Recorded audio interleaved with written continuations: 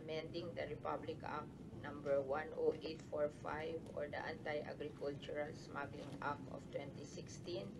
We have Senate Bill 1962, an act amending certain sections of Republic Act 10845, otherwise known as the Anti-Agriculture Smuggling Act of 2016 and for other purposes authored by yours truly.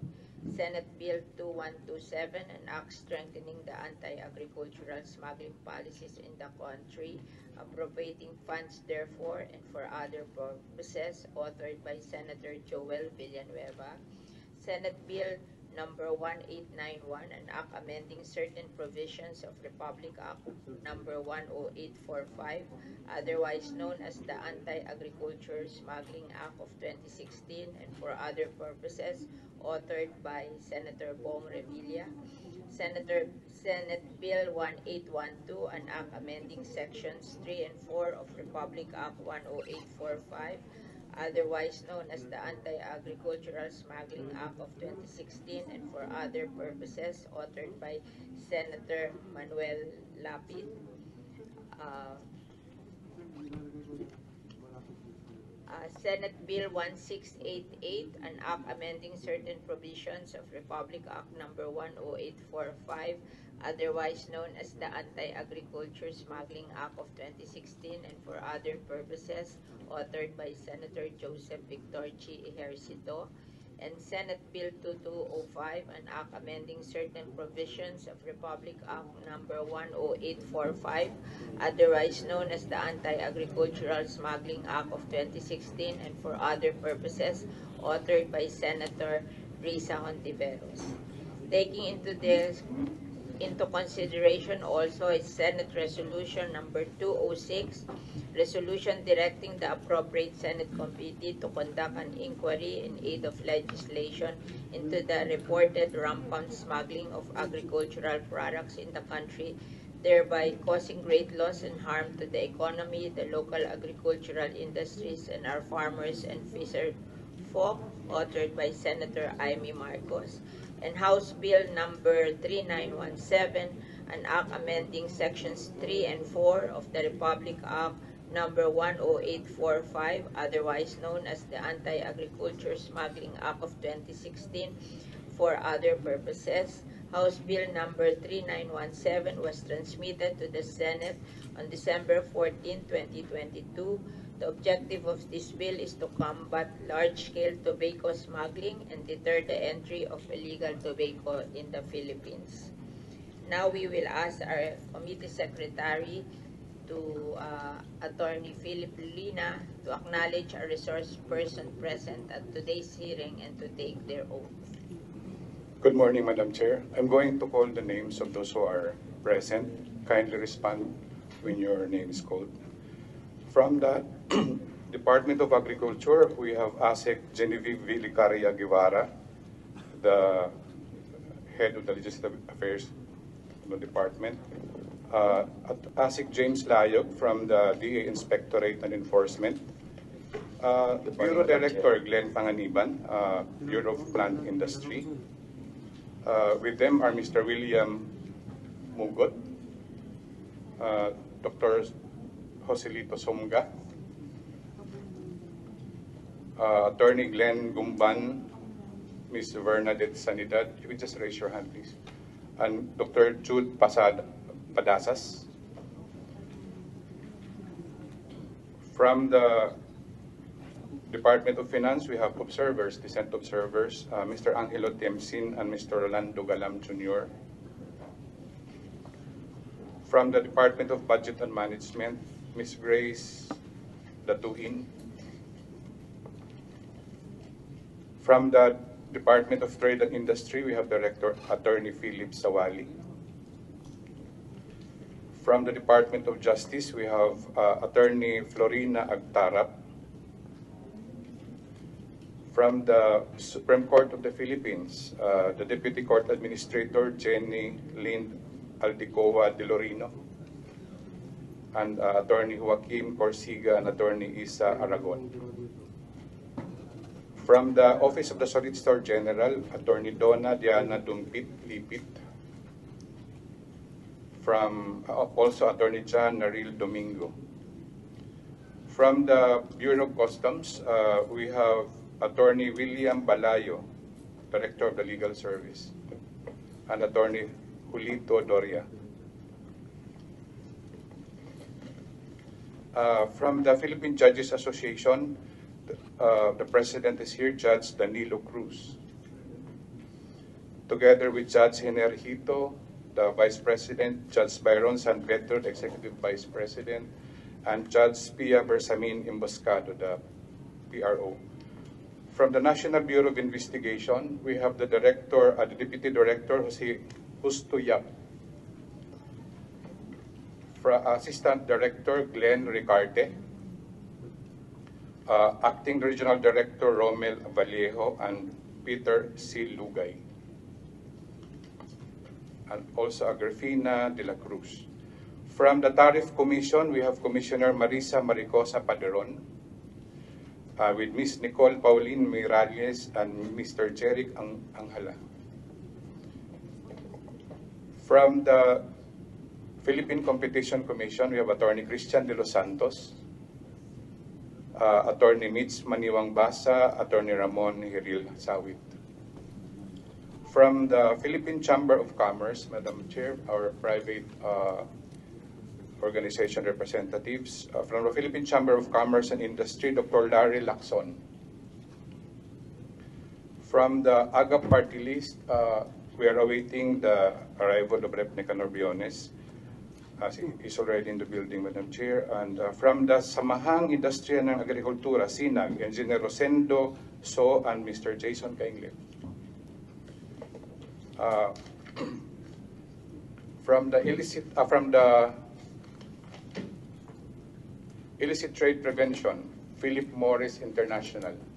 We have Mr. Rodney Van Duren, the director himself, and Attorney Anika Saragosa and Attorney Joe Riola. From the Anglo-American Tobacco Corporation, uh, Mr. Blake Clinton D. is also here, Madam Chair.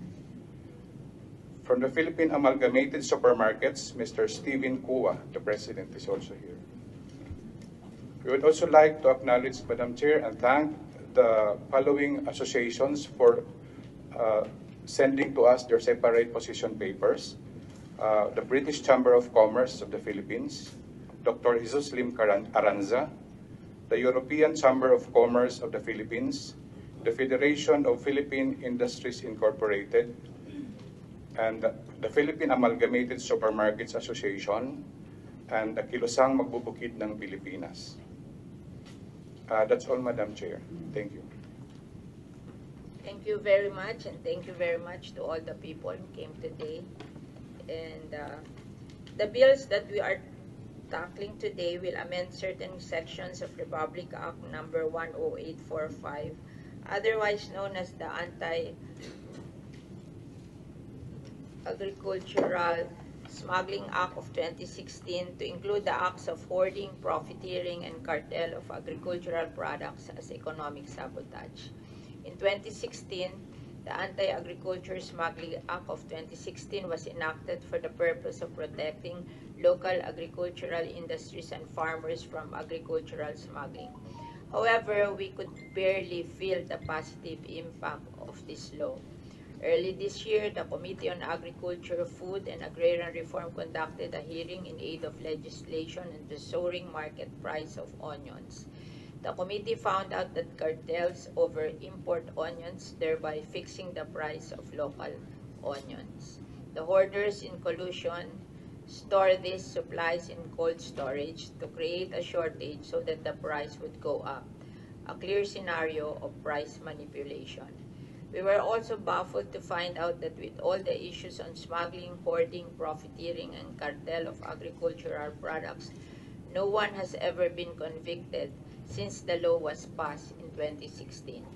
Through that hearing, this committee was able to come up with a committee report number 25 on the soaring market prices of local onions, recommending the following. Number one, amendment of the Anti-Agriculture Smuggling Act of 2016 to include profiteering, hoarding, and smuggling in its list of crimes involving economic sabotage.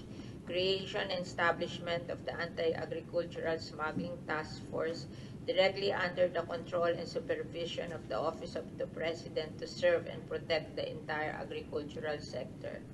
Creation of an anti-agricultural smuggling court that shall try and hear the cases in violation of the Anti-Agriculture Smuggling Act, which is the subject matter of Senate Bill 1962, which I also authored and is now lodged in the Senate Committee on Justice. Creation of a special team of prosecutors from the Department of Justice that shall be assigned to assist the task force in expeditious prosecution of criminal and other cases involving economic sabotage under this law. So that's the filing of Senate Bill 1962, which we are hearing today. According to the report of the Department of Agriculture Inspectorate and Enforcement, a total of 2.1 billion pesos smuggled agri- agri-fishery commodities were seized and a total of 42 cases were filed for violating Republic Act number 10845 or Anti-Agricultural Smuggling Act of 2016 and the Republic Act number 10611 or the Food Safety Act of 2013 from October 19, 2022 to April 5, 2023. This is just for six months. The top agricultural commodities seized were sugar and onions. The funds that the government should have collected from these duties and taxes could have been used to fund agricultural programs for farmers to improve their productivity, income, public services, and infrastructure projects. In the committee on hearing on livestock, it was found out that we are important, importing more than our country's demand instead of just supporting through importation the deficiency of local production. For example, in pork, uh, in 20, in, for the last four years, uh, they have been importing. Uh, the local production is more than the total demand, but they have been importing uh, 700 in 2022, 724,000 metric tons. Uh, and yet, the local production is uh, greater than the local demand. So why are we importing? I thought we are just importing to to help uh, uh, service the local demand if the production is less than the local demand. For chicken, we have been importing also. The production is greater than the local demand, and yet we are importing chicken. And in uh, dairy, uh, we are importing because our local production is just 10% of the local demand. But we have importing a lot, more than the local demand. So, that's why sinasabi ng mga tao na yung atin daw, ano, ah, medyo reasonable lang yung beef. Pero yung chicken, yung dairy, at saka yung pork, sobrang importation. Kaya tinatawag na natin na Department of Importation ang ating uh, Department of Agriculture. Uh, kaya we, they should be able to explain that. Okay. So, uh, yun po ang problema. So, with all these issues on smuggling, hoarding, profiteering, and cartel of agriculture product, it is uh, really baffling that no one is prosecuted. Oh, nag-file ng case, walang na-prosecute. And then walang nakulong, di ba, pag ang pinile mong case is uh, economic sabotage, that's non-bailable. So, dapat may nakulong. Pero wala tayong nadinig na nakulong. Uh, habang tinatry ang case, if the if the case is economic sabotage, they are not allowed to bail. So, dapat nakakulong sila while we are trying the case. Pero wala tayong nakikitang nakulong Miss Kesa. It is high time to amend the anti-agricultural smuggling law. The issue is not only about smuggling, but also hoarding, profiteering, and cartel. Thus, hoarding, profiteering, and cartel shall also be considered as economic sabotage under this um, mandatory law. So with that, thank you. Uh, uh, we will now hear from our other senators, I wish to acknowledge the presence of Senator J.B. Hercito, who is also one of the authors of the anti-agricultural smuggling bill. So we will hear first from uh, Senator Robin Hood Padilla by order of pagdating sa ating hearing. Okay. Maraming salamat po sa ating ah, ina ng Senado, ang aming pong hinahangaan ah, at ah, sinusundan. Ah, ating pong ah, ginang ah, tagapangulo, Senator Cynthia Villar, isang magandang umaga po. At ah, sa lahat po ng ah, kasama nating senador, ah, Ma'am Senator Risa Ontiveros, at sa akin pong ah, kakatipunero, Senator J.B. Ejercito, Magandang umaga. Ah, sa banal na pangalan po, sa siyam na putsyam na banal na pangalan ng nag-iisang Diyos, Assalamualaikum warahmatullahi wabarakatuh. Mga mahal kong kababayan, ito pong ah, pinag-uusapan natin. Alam niyo po, galing na po kami sa mga sunod-sunod na hearing, na pagdinig, isa pong patungkol sa mga gun for hire na ang mga players ay mga dating militar at kakutsaba ang pulisya. Sumunod na hearing namin, droga na naghahalaga ng mahigit na 6 na bilyong piso na ang mga pasimuno ay mga law enforcement, mga PNP. Ngayon, hearing na naman namin patungkol sa smuggling. Mga mahal kong kababayan, saan na tayo patungo? Napakasakit pong isipin nauwi na tayo sa panahon na ang mga suspects natin at ang mga salarin ay yung nasa law enforcement. Mga kababayan, itong pinag-uusapan natin ngayon, smuggling, ibig sabihin nito, kabuhayan ng tao, kabuhayan ng magsasaka, bigas, asukal, sibuyas, tabako, hindi ako naninigarilyo. Nung araw, malakas ako manigarilyo. Pero, pati sigarilyo. Nagbabayad naman ng tax itong mga ito. Pero, pinapapasok pa rin natin yung smuggling. Saan ba ako papunta? Dito po sa mga panukalang batas, gusto nating higpitan gusto nating may makulong. Alam nyo, ako ho ay nag-file ng bill. Una, para sa mga ex-military o sa mga tinatawag nating trained personnel na kapag pumasok sa pagiging gun for hire at magplano ng pagpatay sa tao, eh gusto ko na pong ibalik ang parusang kamatayan.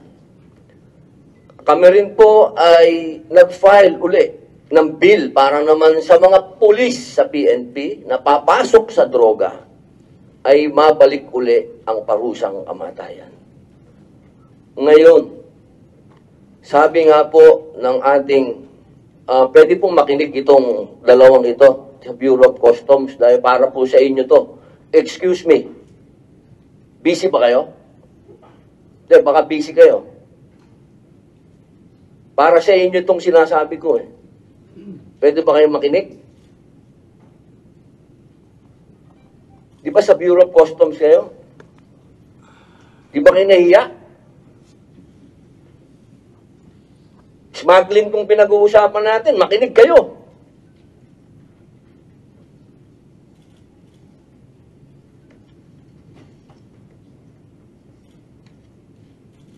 Magsasaka ang mga nahihirapan dito, kabuhayan ng mahihirap na tao. Agricultural country tayo. Sinatabi nating agricultural country tayo, pero nag import tayo. Hindi ba nakakahiya yun?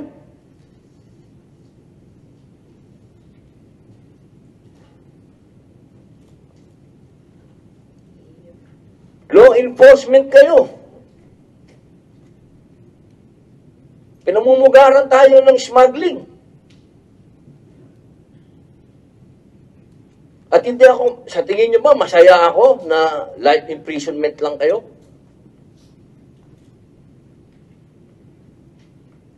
Magbibigay ako ng panukalang batas na kayo dyan sa Bureau of Customs na kapag kayo napatunayan na involved dito sa smuggling, dapat kamatayan din kayo.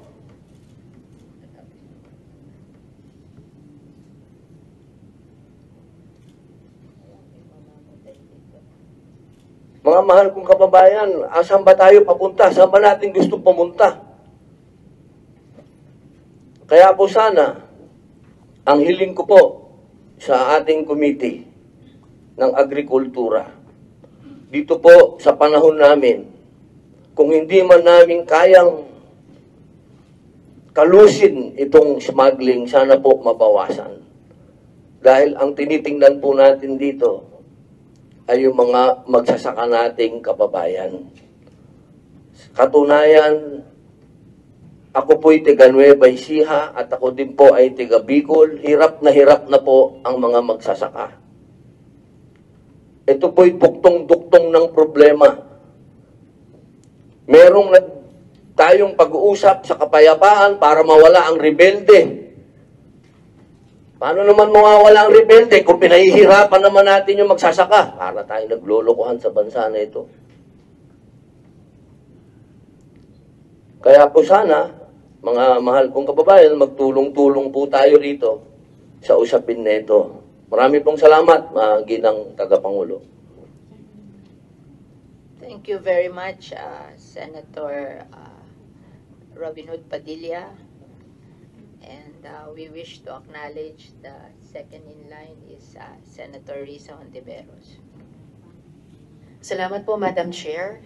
Uh, first of all, let me thank the chairperson of the Senate Committee on Agriculture for kindly including my bill, Senate Bill number 2205, in the bills for consideration in today's hearing. At magandang umaga rin po sa lahat uh, ng mga kasama at mga resource persons. Indeed, Madam Chair, this hearing could not be more timely. Noong inaaral ng aking opisina ang mga unfolding developments sa usapin ng pag-aangkat ng asukal, noong unang sugar fiasco pa man, hanggang sa mga usapin sa Sugar Order Number 6, litaw na agad ang isang posibleng gap sa Republic Act Number 10845. At ito ay ang walang kaparusahan sa mga opisyales ng pamahalaan na tumulong sa mga agricultural smuggler at ginamit ang kanilang opisina para mag-angkat ng agricultural commodities na hindi dumaan sa legal na proseso. Of course, they do not go scot-free because we have Republic Act number 3019 or the Anti-Graft and Corrupt Practices Act. But given the gravity of agricultural smuggling and its far-reaching consequences, it seems to me that we also need to punish government officials who allow these acts. In our anti-trafficking law, of which the chair is also, also an author, we punish the facilitation of trafficking by public officials as acts of trafficking. Sa anti-smuggling laws din natin, nararapat din siguro na we punish the facilitation of smuggling as acts of smuggling.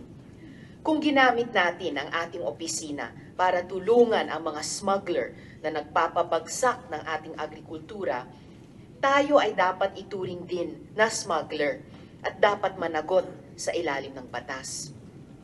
I'm very eager to participate in this hearing and to contribute what I have learned in our sugar research to help craft this important piece of legislation. At ang aking panawagan na din siguro sa mga kinauukulan, yaman din lamang na nandito po kayo ngayon bilang mga resource persons, RA 10845 is still in force and can already be used to prosecute individuals and entities that import agricultural commodities without following the legal process. Sana po ay may masampulan naman na tayo. It is about time. Again, my thanks to the chair and to her committee. Salamat po.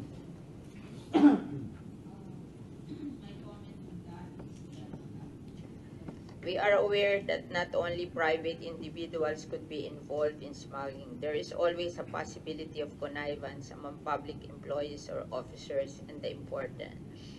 Uh, we will try to prove collusion so that we can also punish the violators from the side of the government. Salamat po, Chair. So we now hear from, uh, thank you, uh, Senator Risa, and we now hear from Senator J.V. Ejercito.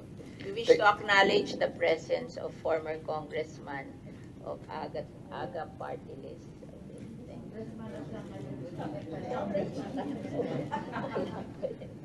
Thank you. Thank you for coming.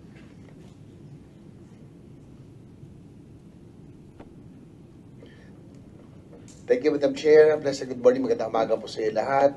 Sa aking makasamahan sa ating mga resource persons. Ah, anyway, um, bilang ah, principal author po ng Anti-Agriculture Smuggling Law, nagpapasalamat ako muli sa ating chair ng Committee on Agriculture for ah, hearing these ah, measures on the amendments. Nagpapasalamat din ako sa kanya na yung dalawang batas na unang sa mga first laws that I have passed uh, during the 17th Congress, namely the Sugarcane Industry Development Act and the Anti-Agricultural Smuggling Law, ay uh, principally sponsored by uh, our chair. Kaya lang po, ang uh, kinalulungkot ko, hindi uh, hindi ho madali gumawa ng batas. Napakahirap po. It's a tedious process para makapasa, especially in both houses. Yung anti-agricultural smuggling law was a product of uh, hearings and investigations uh, because of rampant rice smuggling back in 2013-14. Napasa po it- ah, 2015. Napasa po ito 2016 if I'm not mistaken. In fact, uh, their President Duterte was even uh, one of our uh, resource persons dahil nga sa smuggling na ito. Anyway, ah dahil kaya nga po ginawa ho nating economic sabotage, ah, just to give a, a- a background again as one of the principal authors, ah, dahil pinagkakaita natin ang ating mga magsasaka ng hanap buhay. Na sa tuwing pumapasok ang smuggled na agriculture products, particularly lalo ng bigas, asukal at iba pa, bagsak ang presyo ng bigas at mawawala ng pagkakataon na magandang kita ang ating magsasaka. Pag wala silang kita, mababa purchasing power, wala silang panggastos. Pero kung magandang kita, magan may pambili po sila, no? Ah, may pampagawa. Kikita ang hardware, kikita ang ah, mga pambili ng mga gagamitan ng mga bata. Pag may sobra pa, may panginom pa, lahat. Kumbaga gumagana ang ekonomiya kapag maganda ang kita. Kaya lang, pag bagsak ang kita, bagsak din ang takbo ng ekonomiya dahil walang gumagastos. Kaya nga po, ginawa natin economic sabotage. Yung Sugarcane Industry Development Act, Madam Chair, we passed this uh, under your uh, our, uh, your chairmanship was aimed in uh, revitalizing the sugarcane industry in Negros uh, and other sugar uh, producing, sugarcane producing provinces. Bumagsak na po ang uh, ang uh, ang industriya na asukal kung kaya nais natin sanang buhayin. Nung kaya nga po pinasa natin one of the first laws that we passed is the Sugarcane Industry Development Act para po maglaan ng pondo para buhayin, no? Kaya magkaroon tayo ng mga um, bagong farm equipment, uh, sugar mills, et- etc. 2 billion po ang ating inilaan dito to to um, to revitalize and revive the sugarcane industry in Negros. Ah, siguro matatanong niyo bakit ang ang mother ko po is from Negros. That's why I am quite familiar with the plight and the situation of the sugarcane industry na nakakalungkot no na, na napag-iwanan na ho tayo ng mga bansa na dati ay tayo po tinurap. Madam Chair, these two laws that we passed under your chairmanship in the 17th Congress were aimed in strengthening and supporting our local agriculture industry. Unfortunately, to 7-8 years after its passage, parang wala ho nangyari. Ang nangyari po, namihasa na, import na lang tayo ng import, kagaya na sinabi niya ng ating makasabahan. Parang ah, wala nang hindi na po problemahin, mas madali, hindi na po problemahin yung production. Mas madali ang kita, siguro. Kaya nga nabanggit niyo, Madam Chair, kanina, bakit ho yung local demand, eh kaya naman ng local production, nag import pa rin ho. Tama ho kayo, Madam Chair, that it is frustrating, it's difficult to pass a law. And yet, after its passage, we have not seen or heard any big fishes, malalaking mga smuggler, at iba pa, o opisyal na nakulong. Kaya nga po siguro yan ang problema, wala natatakot magnakaw, magpuslit, at gumawa ng kalokohan sa atin, dito sa ating gobyerno dahil wala talaga nakukulong. It is in this light that Madam Chair that napag, na, nakaikutan na yung SIDA law, yung anti-agri smuggling law, nag-evolve na po. Profiteering, hoarding, and cartel. That's why, Madam Chair, we have included in these amendments that we are passing today, we will now include profiteering, hoarding, and cartel as part of uh, this measure which will now be known as anti-agri uh, economic sabotage. Economic sabotage. Hindi na lang po smuggling. Kasama na po ang cartel at hoarding at lahat ng mga nagsasamantala sa ating mga maliliit na farmers. No? Hindi lang smuggler. Ang huli ko pong, uh, siguro pang bilang panghuli, bilang paalala sa ating mga opisyal, na mismong ang Pangulo ang umuupong Department of Agriculture Secretary. That means that uh, that's how serious he is in solving the problem. Alam natin masalimuto, malaki ang problema ng sektor ng uh, agrikultura dahil na rin sa kagagawa ng mga opisyal at ng mga nagsasamantala. Huwag naman natin pahiyain ng Pangulo, siya po ang napapahiya dito. Being at the helm of the, concurrently, eh, siya po ang tinatamaan dito. Kaya dapat magkaroon naman tayo ng hiya. Nalungkot ako nung minsan ay nabasa ko, ah, Madam Chair, ah, nakita ko sa balita, wow, may mga nahuling smuggler. Yung pala mga pal crew na tagwa 1 kilo, 2 kilos. These are all for personal consumption. As principal author of this measure, principally sponsored by our chair, hindi po yan ang intention natin.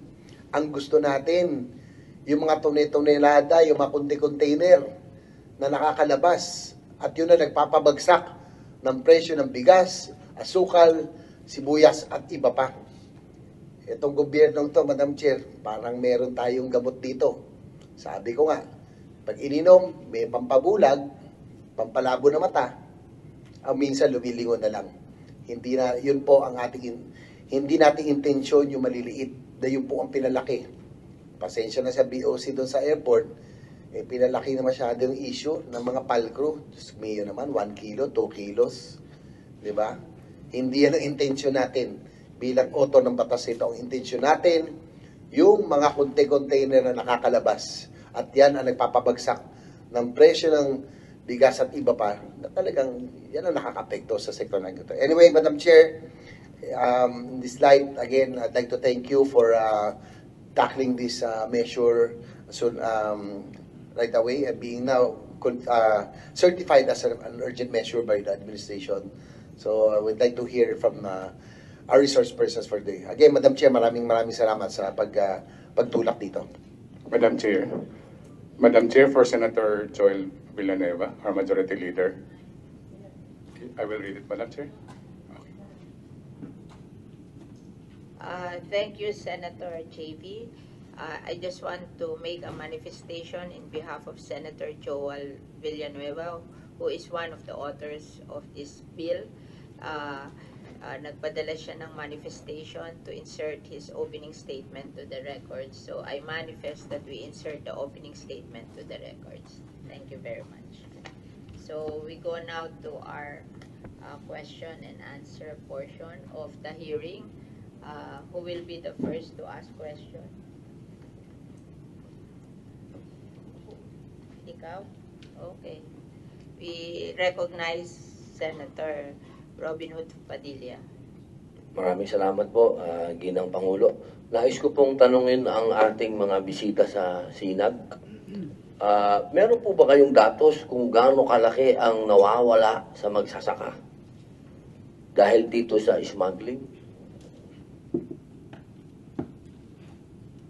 Yeah, uh, so far yung sa sa rice eh nakita natin almost uh, uh, last year mga 10 billion. And yung sa pork uh, and chicken, eh, umabot din ng uh, 6 to 7 bilyones. And yung sa sibuyas, eh, almost uh, 3 to 4 bilyones. So yun ang mga kinoncentrate lang namin yung four commodities. And uh, of course, malaki pa no, yung mga ibang uh, commodities. Pero ito yung na-concentrate natin na talagang uh, pumapasok ng malaki. So, kung pagsasama-samahin po, mga 30 bilyon, ganun po. Almost 30 billion yan. Opo. Sa fisheries naman po, Dr. uh, Larry, sa inyo po, sa fisheries po, kay, ganun din po, parehas po ba kayo ng... Pasensya na po, pero hindi po ako from fisheries. I am from the Philippine Chamber of Commerce and Industry. Ah, sorry ah. PCCI po. Agriculture, Agriculture and Fishery Committee. Wala kang datos din doon? Ah, hindi po. Ah, meron po sa inyo iba't ibang mga committees ang PCCI. Ah, Isa Okay. po yung Agri and Fisheries. O sa, Pero wala pong... ah, ah, hindi ikaw sa fishery. Okay, pero sa agriculture ka rin. Apo. Ah, sa inyo, wala ka bang datos doon? Sa ngayon po, wala po kaming eksakto. Ang tingin Pero ko po, parehas naman kayo. mas, mas, mas robust po yung datos ng SINAG. Ah, pero nakasuporta ka naman sa kanila. Opo. O, iisa kayong grupo. Ah, related po kami. Oh, okay. Sa palagay po ninyo, sino po ang dapat nating sisihin dito sa smuggling nito? Ang tingin kasi natin, mo, ah, ah, may kasabwat sa Bureau of Custom dahil ah, hindi naman makakalabas ito kung walang kasama. No? So, yun ang nakikita natin. And ah, dahil sila rin ang ah, nagre-recommenda kung ah, sinong prosecute, dumadaan sa kanila. So, may involvement talaga ang Bureau of Custom. For the past year kasi yung pinasa na batas, ah, silang nagre-review eh.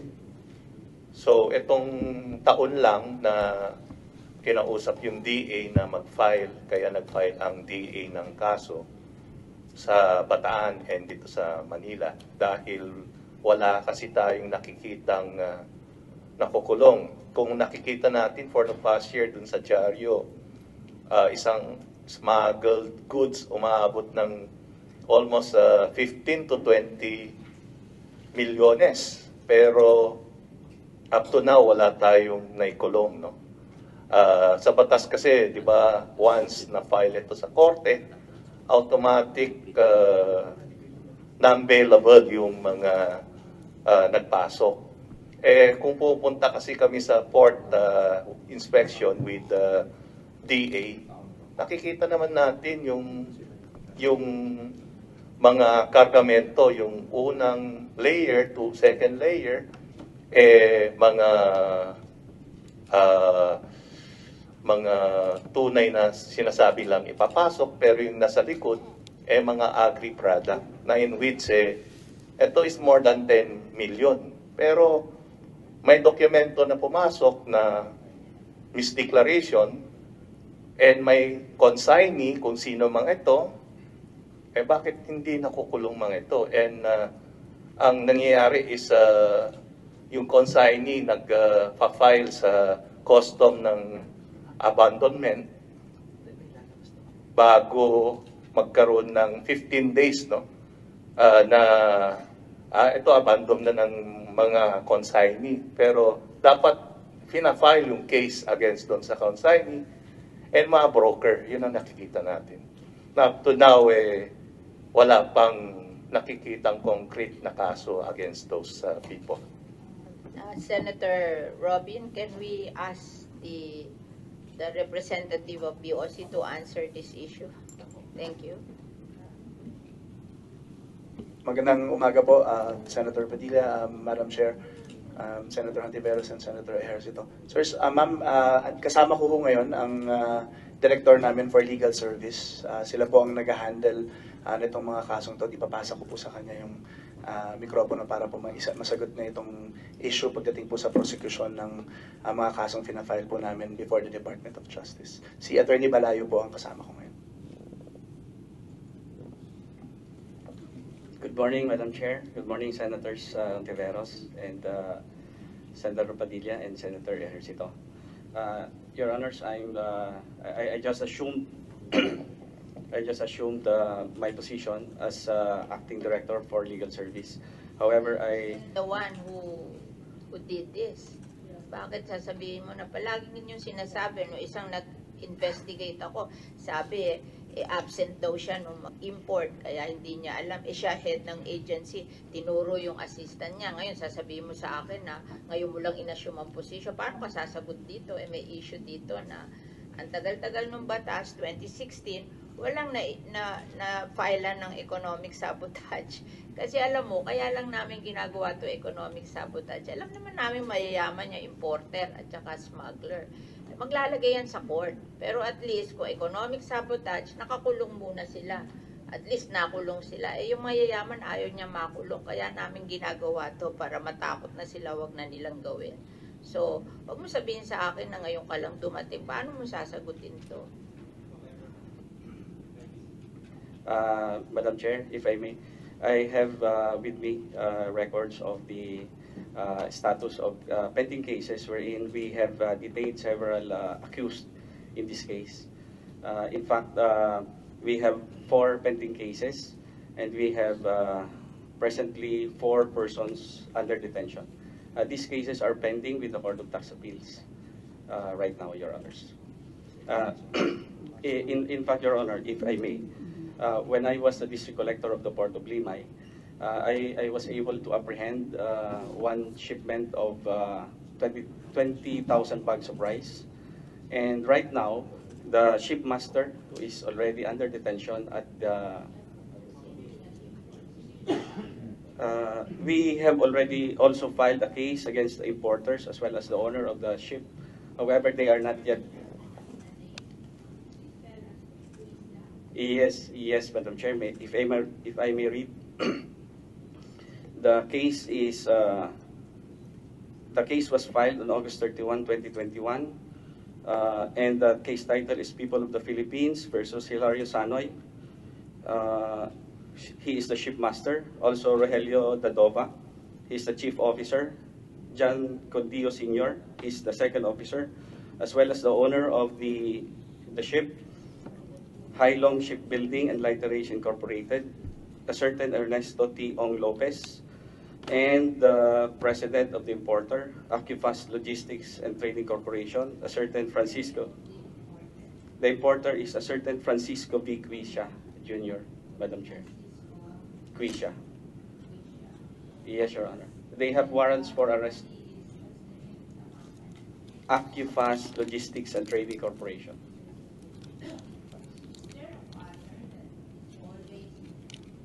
Is there a pattern that it's always those companies which are smuggling? Uh, do you have a list of uh, companies which are always involved in smuggling? Uh, we are we are not able to detect a pattern at this point, uh, Madam Chair. Why? Why Uh, are they changing their name if they are caught? Uh, I, I believe so, Madam Chair, that uh, it's easy really to to change uh, companies. So why are you not doing anything to uh, prevent that? Uh, we, uh, the Bureau of Customs, Madam Chair, we have the uh, Accounts Management Office. And uh, before we allow them to uh, process importations, we do uh, investigations. We also check the offices of these uh, applicants as importers. And, Madam uh, Chair. Yeah. Yes. We recognize Senator Risa. Uh, salamat po, Madam Chair. I just like to ask follow-up questions on the line of questioning of the Chair na actually baka magpakita, magpalitaw ng mga patterns. Um, and salamat, Attorney Balayos, sinabi niyo sa komite yung four pending cases ng Bureau, yung four persons under detention, na yung isa doon for 20,000 tons of rice. Pero uh, hi- hingi po ako sa inyo ng impormasyon para sa big picture ng nangyayari. And which which uh, describe yung action ng bureau nyo. How many cases have you filed for violations of RA number 10845? Lahat-lahat, hindi lang po itong apat na pending. Ma'am, since na sa akin po yung data, ako na lang po yung Yes, please. Attorney Ah, Maronilla, Madam Chair.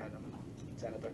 Meron pong sa records po ng aming legal service, Um, for anti-agricultural smuggling po, meron pong 142 cases na na-file yung Bureau of Customs simula po ng 2018. At Attorney Maronilla, para dito sa 142 cases, ano yung total value niyan? Kasama na po yung duties at mga buwis.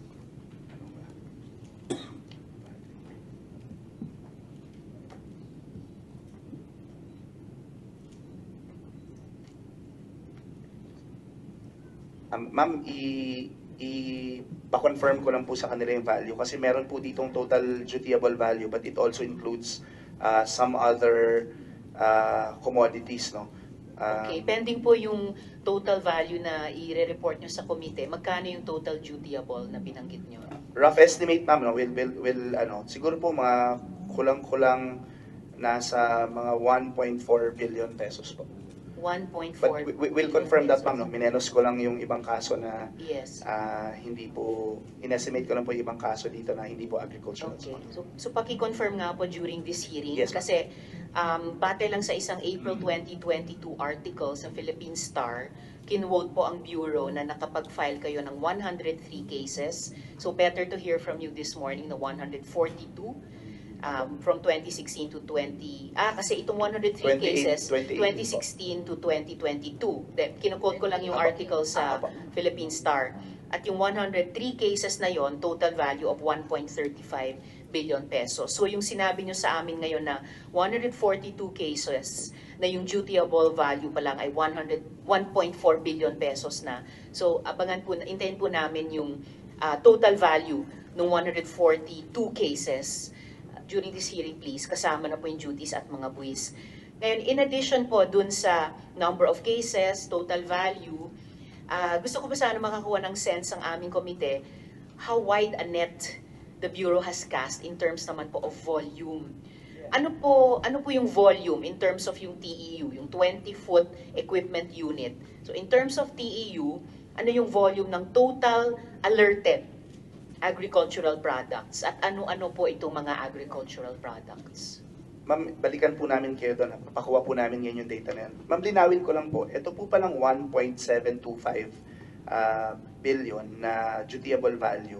At ito na po yung buong dutiable value for all agricultural products po na smuggling. No? Ang nangyari lang po kasi, um, 142 cases po yung na-file namin um, na pumapasok po sa anti-agricultural smuggling. Yung iba pong nahuli namin na hindi po papasok doon no? kasi po yung value ng mga goods ay hindi po ah, pumasok. 436 cases naman po yun. So pag pinagsama po natin yung 142 cases na agricultural smuggling at yung non, hindi po agricultural smuggling pala na 100 accounts lang pala yun. Ilan? Ah, plus 37 po. 179 po siya, ma'am. Ang total po ng dutiable value niya is 1.725 uh, billion po. Huwag mo sabihin hindi agricultural smuggling, yung na, hindi nag-qualify sa sabihin mo na lang yung Sa value po. economic sabotage, pero lahat sila agricultural smuggling. Yes, ma'am. Yes, ma'am. Um, I I-differentiate stand mo yung po. ano qualify sa economic sabotage at saka yung hindi qualify sa economic sabotage. Kasi lahat sila agricultural smuggling. Oo. Yes, ma'am. Thank you very much. Yun po, ma'am, hindi po pumasok sa large. Meron po bang hindi qualified? Parang lahat qualified as economic sabotage. Eh. May, sir, may, doon po sa amount ng threshold po, yung ibang nahuli namin, hindi po pumapasok sa large scale.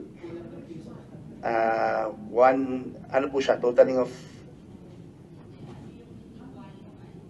38 cases po yung hindi po ay sorry ma'am counts po yung 436 yung total cases po is 37 so 142 po yung ah, large scale agricultural smuggling. Yung hindi po large scale is 37 totaling po to 179 cases filed counts lang po pala yan um, Madam Chairman 436 counts of violation And please submit all this data to the committee through the chair. yes Um, Madam Senator So, at isasubmit nyo rin po yung volume in terms of TEU nung total alerted agricultural products. Pwede nyo bang sabihin ngayon ano-ano yung mga agricultural products na ito?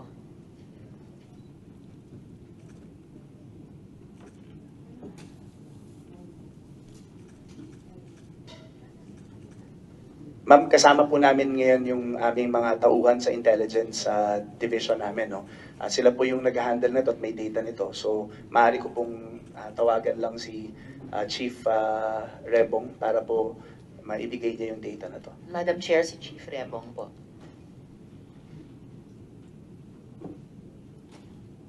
We recognize the head of the intelligence of BOC.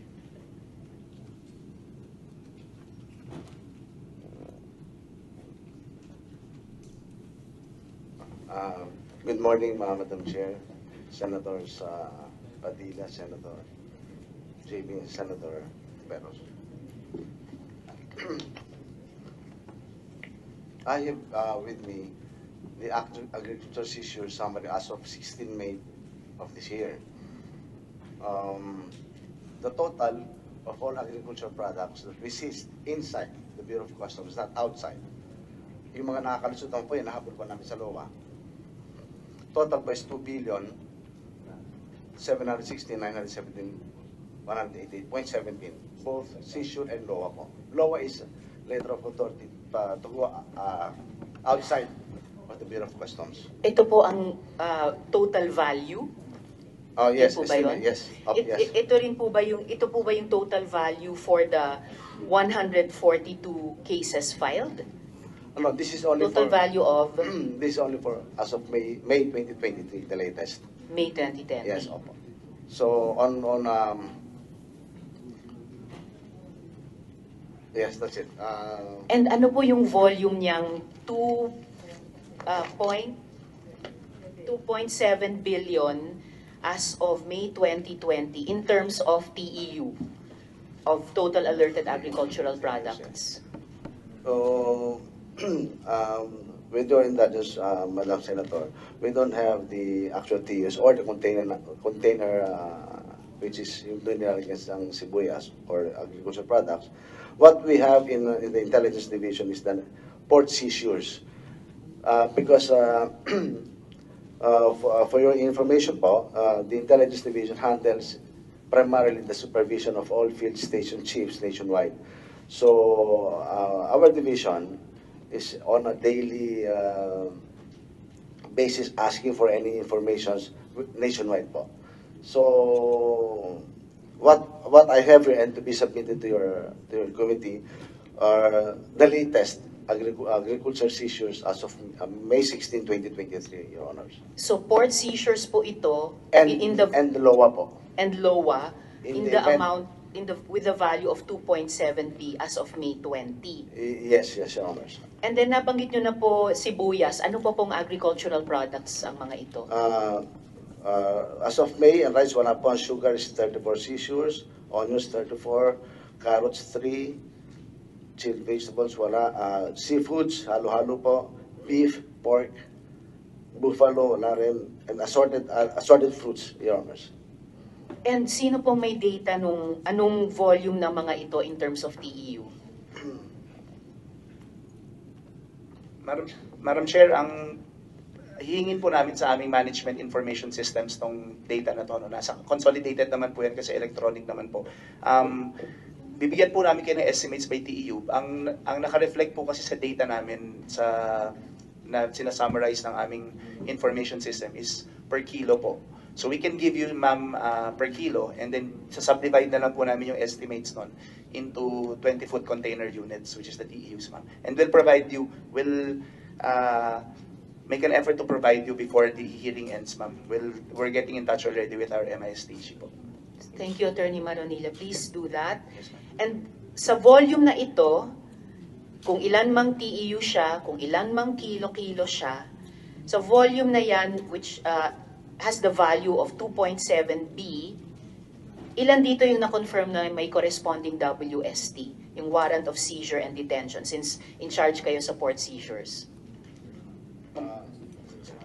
Ma'am, automatic naman po to. Pag reported na po na ganito to, may, may WSDs na po tong lahat ng to. Most likely din po, ma'am, uh, if these are misdeclarations, may forfeiture na rin po tong uh, mga items na to. Nasa ports na lang po namin to for uh, proper dispositions. So, ang sinasabi nyo, itong kung ilan mang kilo, ilan mang TEU ito, yung worth 2.7B, ah 100% may WST na siya. Opo. Alright. At sa lahat ng confirmed may corresponding WST, ah ilan dito yung dinispose of? Yun po yung i-confirm din namin sa different ports namin, ma'am. No? We'll get that data for you also, ma'am. Um, may meron naman pong report yan ah, every week and we can give you the updated data, ma'am. Ah, we'll try to get you that data po siguro before the hearing ends po. We'll get in touch with our port operations na rin, ma'am. Please do that, Attorney Maronilla, and Ah. through, through our chair. Madam, Ah, Madam, And yung information please to be submitted to the committee through our chair, pakidetalye kung itong mga seizures ay na-auction ba, na-donate ba sila, sinira ba sila or dinestroy para alam po ng, ng aming komite. Um, and then sir, attorney, since November, ito, since November, kasi mabalikan ko yung ah, tinatanong kanina ni Chair, yung pattern na sabi nyo, or sabi ng Bureau, walang pattern, pero tanong ko po, mukhang baka may pattern.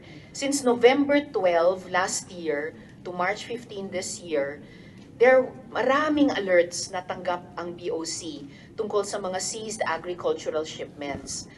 Ah, so, Madam, Madam Chair, ah, ah, I would like to request to move that we subpoena the memoranda request for alerts for the following shipments. Ito na po. Pina-flash na po namin yung bills of lading. Ah, first page pa lang po yan nung table na mga bills of lading. Two pages po ito. Summary of import operations from November last year to March this year nga po. And speaking of patterns, may mga ano, repeat appearances sa mga consignees. Ah, diyan po yung ah, just for one yung Kanluran Consumer Goods Trading, yung MFBY Consumer Goods Trading, ah, and and other. So baka may pattern Madam Chair, MS Fab Builders and Enterprises Company ah, at iba pa. So ah, at this point Madam Chair, I I would respectfully move uh, to, for the committee through the chair to subpoena the memoranda request for alert uh, for these shipments, Madam Chair. You move for that. Thank So, you. Please, uh, uh, submit to us. Kasi parang yung mga sinisubmit yung report very vague. Hindi namin makita yung kung ano amount per per importation para malaman namin kung alin ang agricultural, ah, kung ano yung economic sabotage. And at the same time, hindi namin makita yung mga pangalan ng importer. Kasi yun na importante. We, wi- like what he she showed us, meron naman pattern ng names eh, 'di ba? So we want the names. O para more or less kayo, alam niyo na kung sino 'yan eh. Oo. Dapat pag ah, dumapat yung name na 'yon, alam niyo naman kung sino mga smuggler. Eh, dapat ano na kayo red light na agad kayo na smuggler to, 'di ba?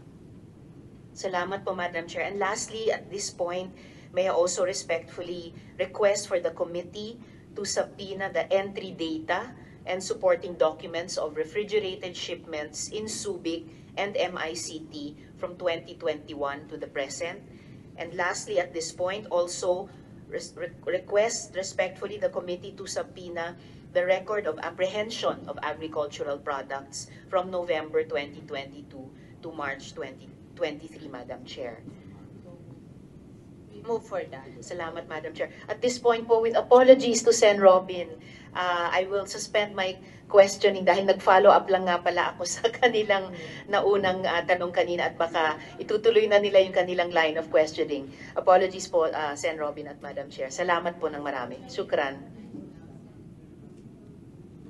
Ah, maraming salamat po ah, sa ating mga ginang na mga senadora. Maraming salamat po.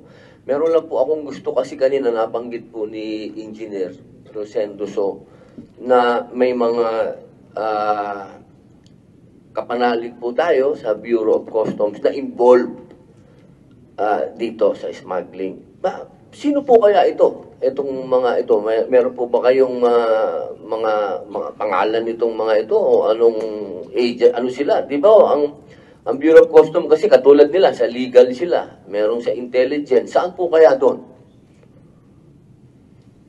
Yeah, ang ang ano kasi ang tingin lang natin is ah, dahil malawak yung ano eh, yung involvement ng custom no from entry so to investigation kasi yung mga threshold ah, alam naman natin yung amount eh.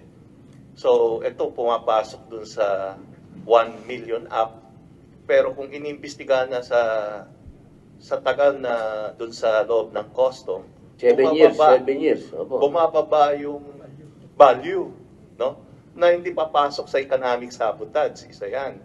And pagka naiano naman sa DOJ, ah, ang witness is custom, hindi naman humaharap or nagbibigay ng dokumento. So yung mga cases na nadidismiss, ah yung sa ibang hearing, yun ang naririnig natin na nadidismiss yung kaso dahil hindi pumapunta yung custom official or dokumento kulang-kulang na binibigay. So kung walang involvement yung custom dyan, ah, hindi natin alam bakit hindi sila nag-attend, no? Kasi silang silang may hawak ng record and ah, dapat eh, ibigay nila yon. Yun ang nakikita natin. Maraming salamat po, Engineer. Sa ating pong ah, Bureau of Customs, Sir, ano po sa palagay po ninyo ang ah, mabigat po yung ah, sinabi ni Engineer? Sa inyo po bang palagay, ah, sa ah, inyo pong ahensya, saan po kaya nag-uumpisa ang, ah, ang involvement? Kung meron pong involvement ang Bureau of Customs? Ah, magandang umaga po, Senator Padilla. Kung sabi nga ho nila, kung meron po dito sa amin, mag-uumpisa po talaga yan sa mga puerto namin. No? Ah, doon ho kasi pinoproseso yung ah, mga shipments na yan. Ah, tapos kung meron hong ah, huli ah, sa pag-iimbestiga ho, meron din mga units na talagang nag-iimbestiga niyan specific to it. And then of course, yung filing of cases po sa special unit namin sa legal service, no? Ah, tawag po doon ah, Bureau Action Team Against Smugglers. D- dati po yung programa na pinondohan ng ah, USAID, itinuloy-tuloy po natin ah, para po constant yung pag-file ng cases with the ah, Department of Justice. Ah, yun nga lang ho, ah, bago ho tong legal service director namin, ah, meron din ho kaming pagre-review, no?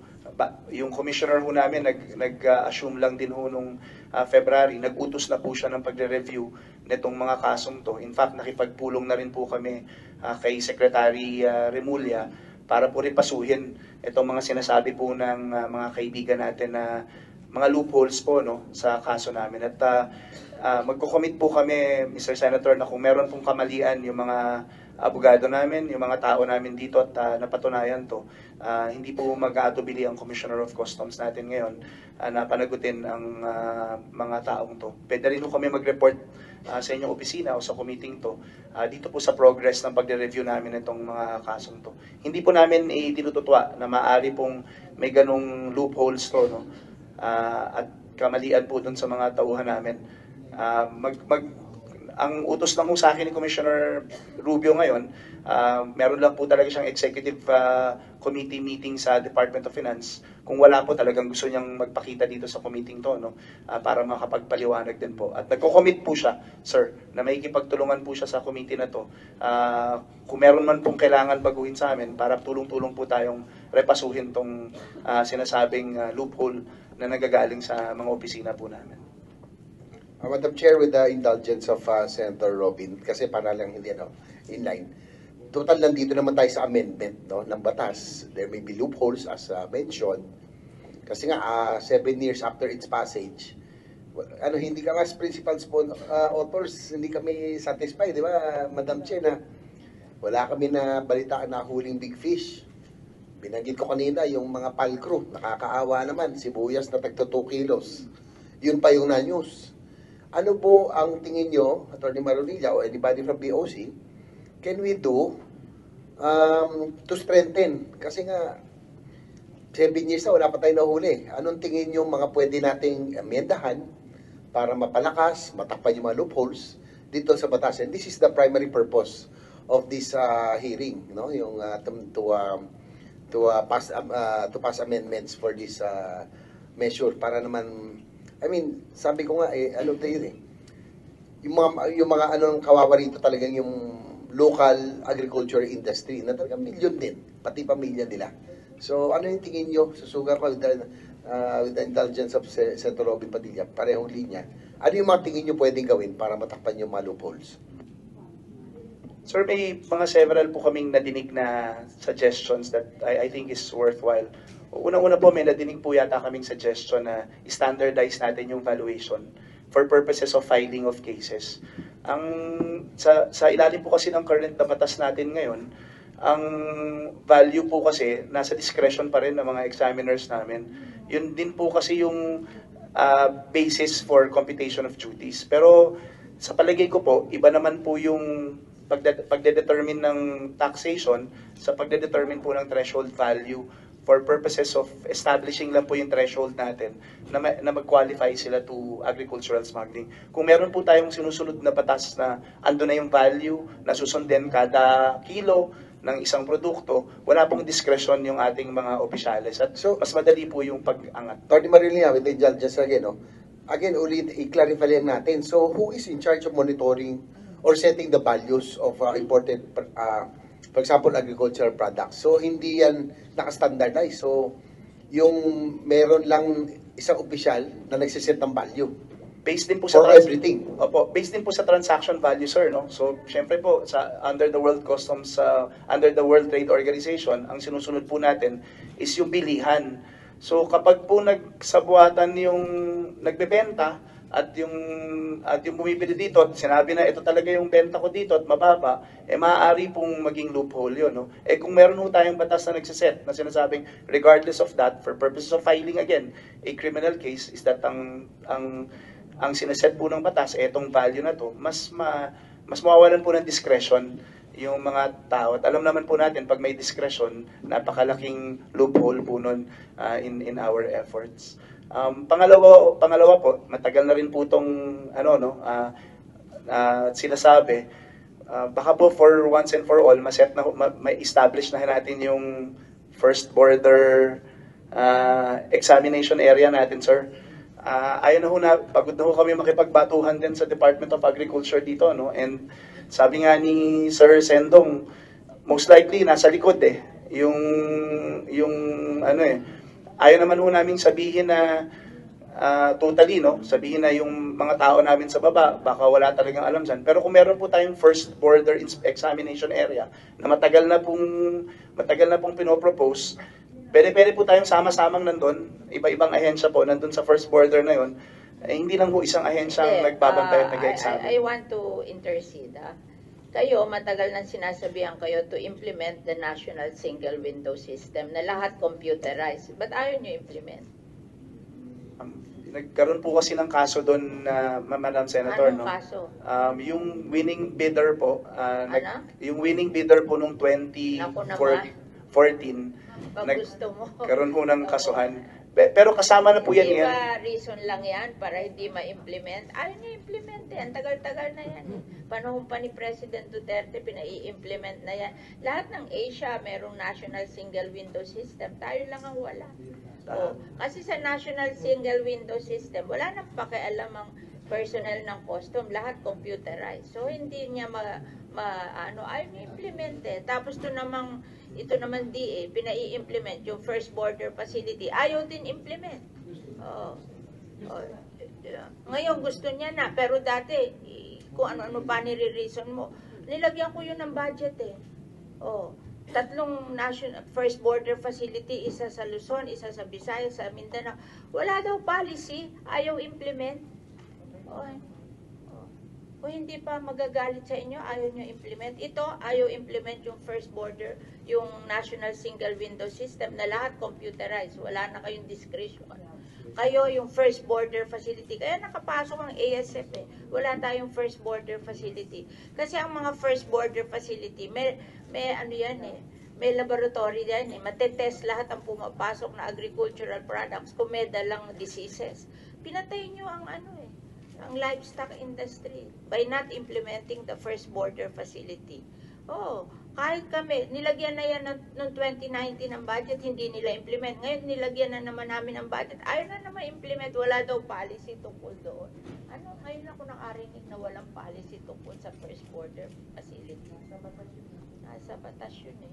So, ano ba yun? Ma'am. Papasabay yun sa GAA kung walang policy doon. Ah, Madam Chair, Yes. Madam Chair, Oo. ah yung value, no? Yung value sa custom may may value yun kasi yung yung mga rice na pumapasok, kung mas mababa dun sa value, sinaset nila sa $400 for example. So, hindi totoo na walang value. So, dapat, ah, kung may value yun, ibase nila dun sa value na Hindi, talaga ang naging problema nila, ayaw nila implement yung National Single Window System na computerized siya, na wala nang pakialam ang mga empleyado. It's all computerized. So, it's automatic. Ayaw nila eh. Kung ano-anong reason ang sinasabi nila eh. Kasi doon, wala na silang discretion. It's computerized. It's ano, it, it, kung ano yung pumasok, yun ang susundin. Walang tao na magdi-decide kung ano value noon. Ayaw nyo implement. Tapos ito naman, ayaw implement yung ano, first border facility. Eh, alam nyo, pag hindi nyo ginagawa yan, alam naman na, ano eh, ayaw nyo tumulong eh, kasi gusto nyo gumawa ng pera dyan. Nakakahiyaan pa tayo. Madam Chair, tuloy ko lang oh. Tanong ko na rin, nandun din pa tayo sa yung discretion kasi. Kasi may problema ng BOC na banggit nyo, yung computerization nyo, na antala dahil may kaso, no? So, medyo may ano tayo na stall, sabi nyo. Anyway, sino po ang ano, ah, sino may, um, may hawak o ang, uh, anong function ng IAS? Yung ba ang nag-ano ng ah, assessment? Siya ba ang pinaka nagsiset ng lahat ng values? Ang ang trabaho po ng import assessment service sir is uh, I'm- your honor is yung they sila po yung nagse-set tama po ng uh, tinatawag naming reference values no. Ah, ginagamit po to para ibangga po yung mga declared value ng mga importer for purposes lang po na ah, pwedeng i-question. Ah, ang rule po kasi talaga is transaction value but ah, hindi naman po tayo pinagbabawalan na questionin yung mga fino-forward sa ating transaction value. Ang import assessment service po, nagsiset po siya ng database ng mga values at doon po natin binabangga. Pero Attorney Marilyn, anong basis niya? Ah, mar- marami po, sir. Ah, for example, may mga publications po. Opo, ah, like for example, sa, sa rice po, merong ah, wor- may mga world price indexes po ang rice na nakasubscribe po siya for publication. Um, meron din pong mga dating mga values po no, na matataas na dinideclare na ating mga green lane companies. At But, kung iba pa. but ang ano lang, pero may discretion pa rin siya to really set kung ano talaga yung susundin. Discretion niya, hindi dahil hindi base, pwedeng hindi base doon, pwedeng a little above or a little below. Oo, kasi Medyo ang, ang problema ho kasi nung system natin ng valuation dahil nga transaction-based, sir, may, nagkakaroon talaga ng wide latitude of uh, discretion. Kaya, Madam Chair, because I, I, I, I, uh, I am asking this because I receive reports that the price of chicken, ito sa mga, ano, no, or chicken leg quarter in one port in Subic is valued half compared to other ports. No? Can the BOC confirm this and can you submit to this committee the report investigation about this? Kasi pag yung ganong merong discretion, medyo nakakaduda. Bakit magkaiba? Ang value ng price of quarter of chicken, leg quarter, in one port, tapos kalahati doon sa iba. Di ba parang siguro yung mga taga yung mga nag ano rito can can, can say na meron talagang milagro na nangyayari diyan. Can you confirm that can this is happening na magkaibang mga presyo sa mga ports? Sir, isasabit na lang po namin yung data, no? Pero we- what we can say, sir, is that there's an investigation going on with uh, that particular information that you gave po. Ongoing naman po yung uh, investigation namin doon. In fact, uh, nasita na rin ho namin yon. But kung ano man po yung merong resulta ngayon initially ng investigation na yon at yung data po, uh, we will submit, sir, uh, those uh, particular data for this. Thank you, Attorney Marilla. Pero isa lang ito sa mga report na nagkakaroon ng undervaluations na nagre-resulta ng smuggling. So, paano kung hindi ito na-report? So, I hope that you can furnish the committee the copy of this report on this ongoing investigation. Kasi mahirap eh, dahil meron discretionary power eh. Ba? Ay yung ah, head ng IAS. Kumbaga siya lang ang magsiset talaga na yan ang susundin. So, Tama ba, ano, before ay, ano, ah, bago iwanan po ito, Madam Chair, tama ba na merong yung value reference system natin na ginagamit? Defective. Yung value reference system natin. Is it siya. Siguro sir, kailangan ng improvement. Like what uh, that, that Ma- Madam Chair stated, uh, automation po talaga yung kinakailangan for that, no? To, to, To bring remove the out the- discretion. Opo. Sinubukan po namin... Sinasabi nyo na nagka-problema, nagka-case, ba't hindi nyo na-solve yun?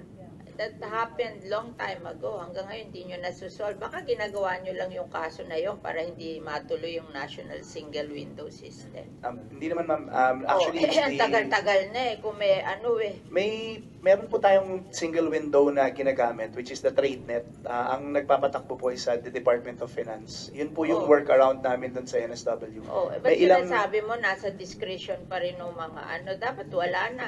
ah, automated na lahat. Um, yung yung valuation po kasi Madam Chair, uh, it, it's it's still within the examiners uh, Oo. and the appraisers discretion. national single window system, wala nang pakialam ang examiner dyan. It's all computerized. Kung ano lumabas sa computer, yun ang value. Cannot be questioned. Walang discretion dyan. Kaya ayaw nyo niyan kasi wala kayong discretion. Oh. Lahat ng Asia, ganyan na eh. Tayo lang ang naiwan eh. Oh.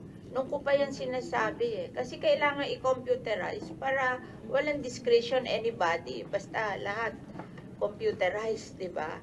O, eh, ba't ayaw nyo implement? So, kahit kami mag-amend ng law, I'm seeing this, kahit kami mag-amend ng law, kung may discretion din sila sa value, eh sila yung mag-ano, wala rin ko-qualify sa economic sabotage. At saka tatanong ko sa inyo, nag-file kayo ng case na economic sabotage, ba't walang nakulong? Um, Madam Chair, uh, meron naman pong nakulong, ma'am. Sino? Uh, yes, ma'am. And uh, uh, ma'am, uh, warrants of arrest uh, were actually issued except uh, they were not yet uh, apprehended. Yung may-ari po ng barko and yung importer po.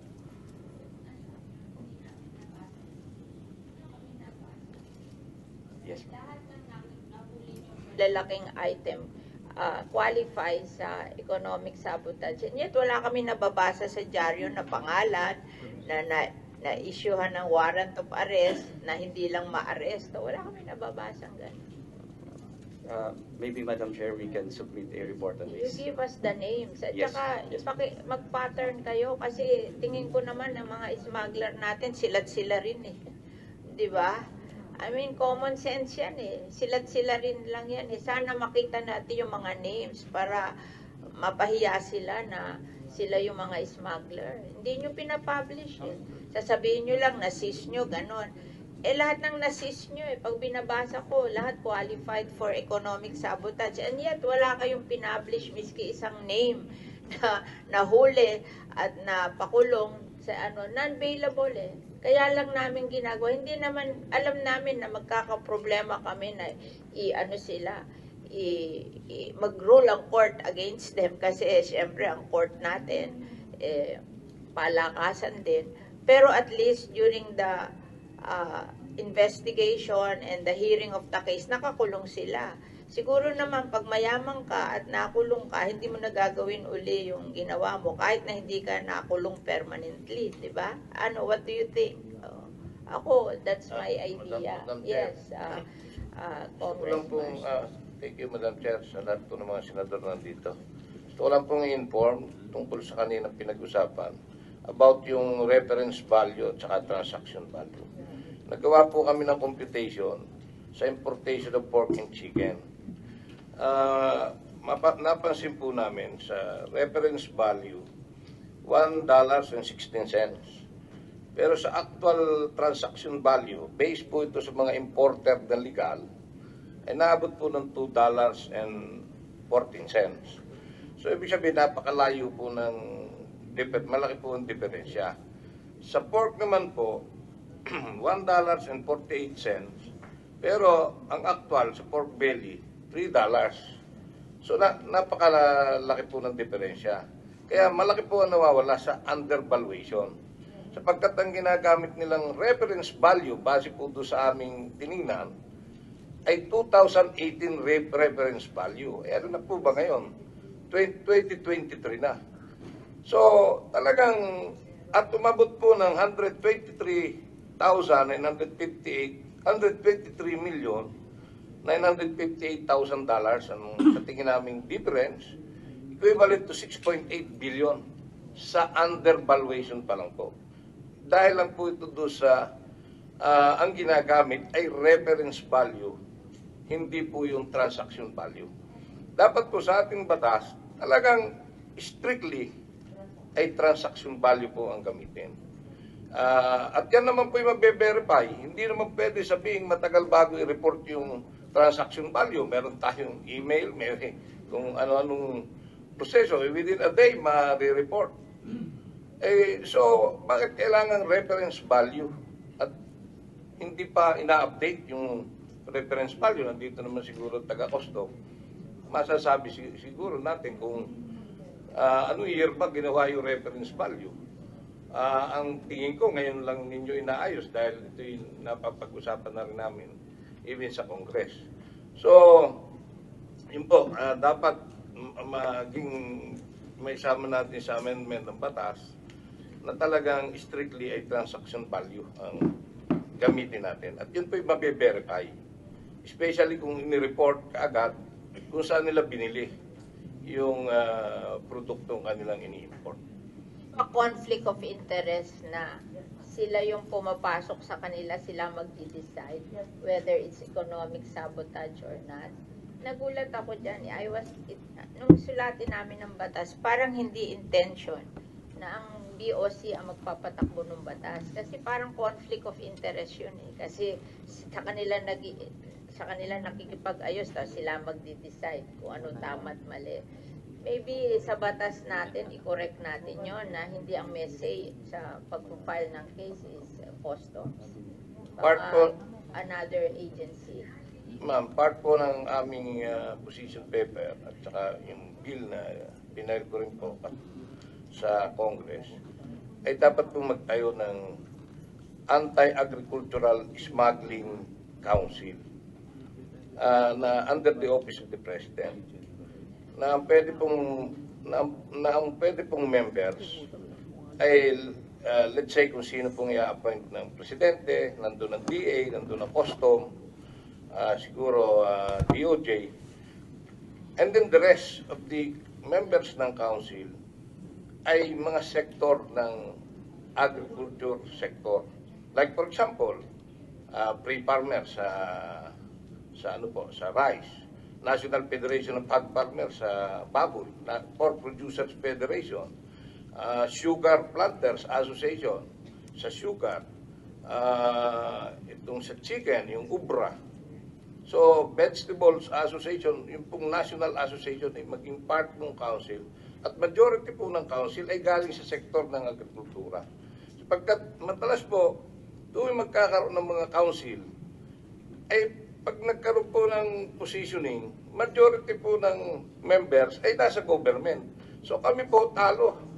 Natatalo po kami sa butuhan kung, kung ano po ang dapat gawin. Eh, since ito po ay policy kung paano i-implement ang mga ang batas, eh dapat po ay yung talagang naapektuhan ang majority ng members ng council nito. At yung pong council ay magtatayo naman ng Anti-Agricultural Smuggling Task Force under ng council, which is ang i-deputize po natin ay PNP, NBI, uh, Coast Guard, AFP, uh, and then samahan ng isang uh, uh, sector ng agriculture sector. So sila po yung mag-iimbestiga, mag-prosecute. At uh, sana po ay yung inyo pong ipinopropose, Madam Chair, na magkaroon ng special prosecutor and special court para po rito sa smuggling ay makasama. At kung sakali po, ah, meron na po kaming, ano, dahil hindi pa po kami nakapag-meeting about amendment ng smuggling sa Congress, kung sakali pong lahat di maayos ang inyo pong batas na uh, bill na maano dito, ay naniniwala po ako para maging mabilis, ay i-adapt na lang po ng Congress yung matatapos nating uh, uh, bill dito, patas. Another problem niyang council na yan, kasi nakita na namin yan sa DA. Kinukuha nila yung kakampi nila eh. Oh, di ba? Oh, pinapalitan nila eh. Kinukuha nila lahat yung kakampi nila para tu- tuloy ang kanilang kalokohan. Kaya that's a problem also. I don't know how we will solve that kasi dapat ilista natin definitely yung pangalan, di ba? Para hindi ano, hindi mapapalitan. Pinapalitan nila eh. Tama, ma'am. Ah, Basta nakuha sila ng council, eh, kinukuha nila yung kakampi nila para ah, gagawin yung gusto nilang gawin, di ba? Yun ang problem niyang council na yan. Identify Kaya naman. dapat pag gumawa tayo ng council, eh pumili na tayo at yun ang ilagay natin, hindi pwedeng paltan. Oo. Tama po, ma'am. Alam po naman law. natin yung Oo. National Association ng mga Oo. nasa Kasi agriculture sector. So, pinapalitan nila ilagay na po natin kung Ilagay sino-sino natin. Oo. ang dapat na maging member ng council. Kasi nakita ko na yan sa DA, pinapalitan nila eh. Pag ayaw nung ah, assign eh, humahanap sila ng ng kakampi, tapos yun ang nilalagay nila para tuloy din ang ligaya nila, di ba? Ang hirap talaga eh. Ang hirap. Kala namin is, kasi kami magkasama na ipasa namin yung anti-smuggling law eh. Kala namin eh. Madali lang yan ah. Walang nahuli. eh. Walang nahuli. eh. Kaya ngayon na mag-a-amend tayo, baka mali na naman tayo. Wala na naman mangyari. Yes. Salamat, Madam Chair. If I could continue on that line of questioning, kasi malinaw na yung DOC uh, has managed to seize no, considerable am- amount ng mga smuggled agricultural commodities. Pero yung tanong nga, mayroon bang nakasuhan na smuggler? So sabi nga, may apat facing criminal cases. Nga lang, yung isang kaso doon, dismissed pa for lack of evidence.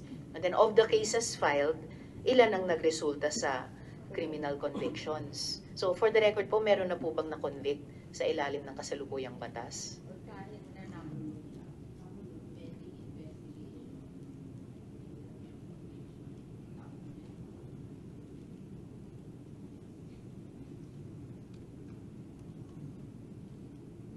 Uh, Mad- Madam Senator, uh, for agri-related cases, we have two convictions already. We, we have a conviction already in the province of Bataan, but it, it's not uh, under the anti-agricultural smuggling law. Yes. amount, it's all under economic sabotage. Pero pag nag-convict kayo, wala doon. Di wala rin. Di ba? So bakit po ganito? Ano ba yung difficulty sa pag-prosecute ng mga entity sa ilalim ng RA 10845? So saang banda po kayo nahihirapan? Uh, Madam Senator, uh, uh, I, I was the district collector then at the board of uh, Limay, and I was the one who apprehended that uh, specific uh, uh, is- smuggling incident, and I was the one who filed the case. So what happened was uh, when we filed the case, the uh, the DOJ actually uh, filed a, a lower case, uh, Madam Senator, because uh, the the it they, they filed a case for against the drivers and uh, pahinante. And, and uh, it's uh, a, lower amount. But there's a bigger case that was filed uh, which includes the importer the ship owner and uh, the ship captain. This no no your uh, I'm sorry Madam Chair. It's pending at the Court of Tax Appeals right now. And there is one uh, which is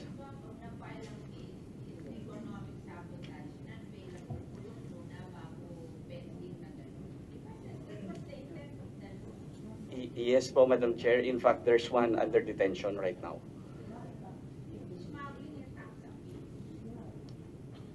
Uh, that's the,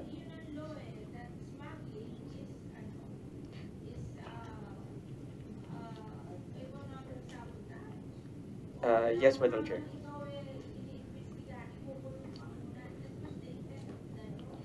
For for non-bailable offenses, uh, Madam Chair, for this uh, kind of cases, the original jurisdiction is uh, Court of Tax Appeals, Madam Chair. Uh, we, we do have uh, under detention, uh, if I may read the names of those uh, being Under detained right now. detention eh, ano, ah, yung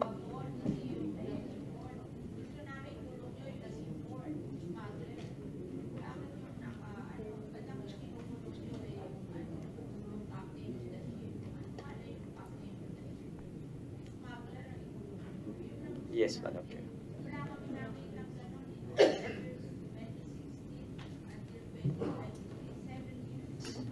seven years. Wala miski isa man lang. O, Yes, di Madam Chair. lakas-lakas talaga nila sa inyo. Di ba? Ah. Wala miski isang example. Ah, how can a law na walang na-example? Di ba? O di failure ang law. Di ba? So there's something wrong with the way we, we ano, that's why we're amending it. Kasi it's a failure. It's a failure. Kasi, alam nyo, ako, pag may nagluko, nagnakaw, nag-file ako ng case eh. Para kahit na hindi siya mahuli, hindi na rin niya uulitin ang pagnanakaw kasi wanted na siya, di ba? Ito, ganun to eh. O, gusto namin, may example, para hindi na niya uulitin yung smuggling kasi makukulong siya eh. Pending the case. Kaya nga, ano, eh, economic sabotage, that's the reason. Wala kami nakita eh. So, at attorney, dagdag dun sa difficulties nung implementation ng batas, particular sa mga kasong ito. So, nagawa niyo pong maghain ng kaso sa Port of Limay. What is preventing yung mga responsible persons ng BOC in all the ports of the Philippines? Kasi iba't iba naman ang pinag-intercepta ng mga ito sa summary of import operations, halimbawa. What is preventing more cases uh, being filed na posibleng magresulta sa convictions. May problema ba sa batas? Ba't ba kayo nahirapan i-implementa ito? Uh, if, if I may po, uh, Madam Senator, uh, I, I believe the implementation of the law is uh, rather uh, also difficult. Uh, because uh, when we file these cases, we have uh, we have to have all the evidences at hand. So, syempre po, ipapile po namin yan sa DOJ and uh, the DOJ is also very strict in in, uh, in Lagay natin ng requirement sa law na ganito lang requirement to be able to file the case. The intent is for them to go to jail pending hearing. Yun lang ang intention namin. Kasi pag mayaman ka and you go to jail, that's enough punishment kahit na hindi permanent. So you have to teach us how to document uh, embodied in the law para ma maka ano tayo makaroon tayo ng ano ng uh, economic sabotage. Uh, that's why we're hearing today. You you have you have a hard time implementing the law. What's wrong with the law? So we change the law. Kung halimbawa, sabi nyo, ang hirap mag ah, mag-file ng ganun dahil ang daming requirement, di pa kontiin natin requirement, ilagay natin sa law na yun lang ang requirement para ano. We have to solve the problem kasi gusto namin maka- makakita kami ng nakulong. Yun ang intention of the law. That's why we're amending. Kung hindi ka, hindi yun ang intention namin, why are we amending the law? It's useless. Yes, Madam Chair, maybe we can submit a position paper on that so that uh, we can have a a shorter or a lesser number of documents that uh, needs to be filed or which is absolutely necessary. Kasi po, uh, it really happens na nadidismissan po kami ng cases. Kung minsan kulang lang po kami ng certification or yung na-submit namin is photocopy, hindi po kami nakapag-submit ng original, uh, nadi- nadidismiss na po siya. So, reflection on you yan eh, na wala kayong na, na-prosecute under this eh. Kasi it's a seven-year-old law, wala kayong na ano. It's a reflection on you, ang impression ng mga tao. Kasabuat kayo. Kaya walang na ano.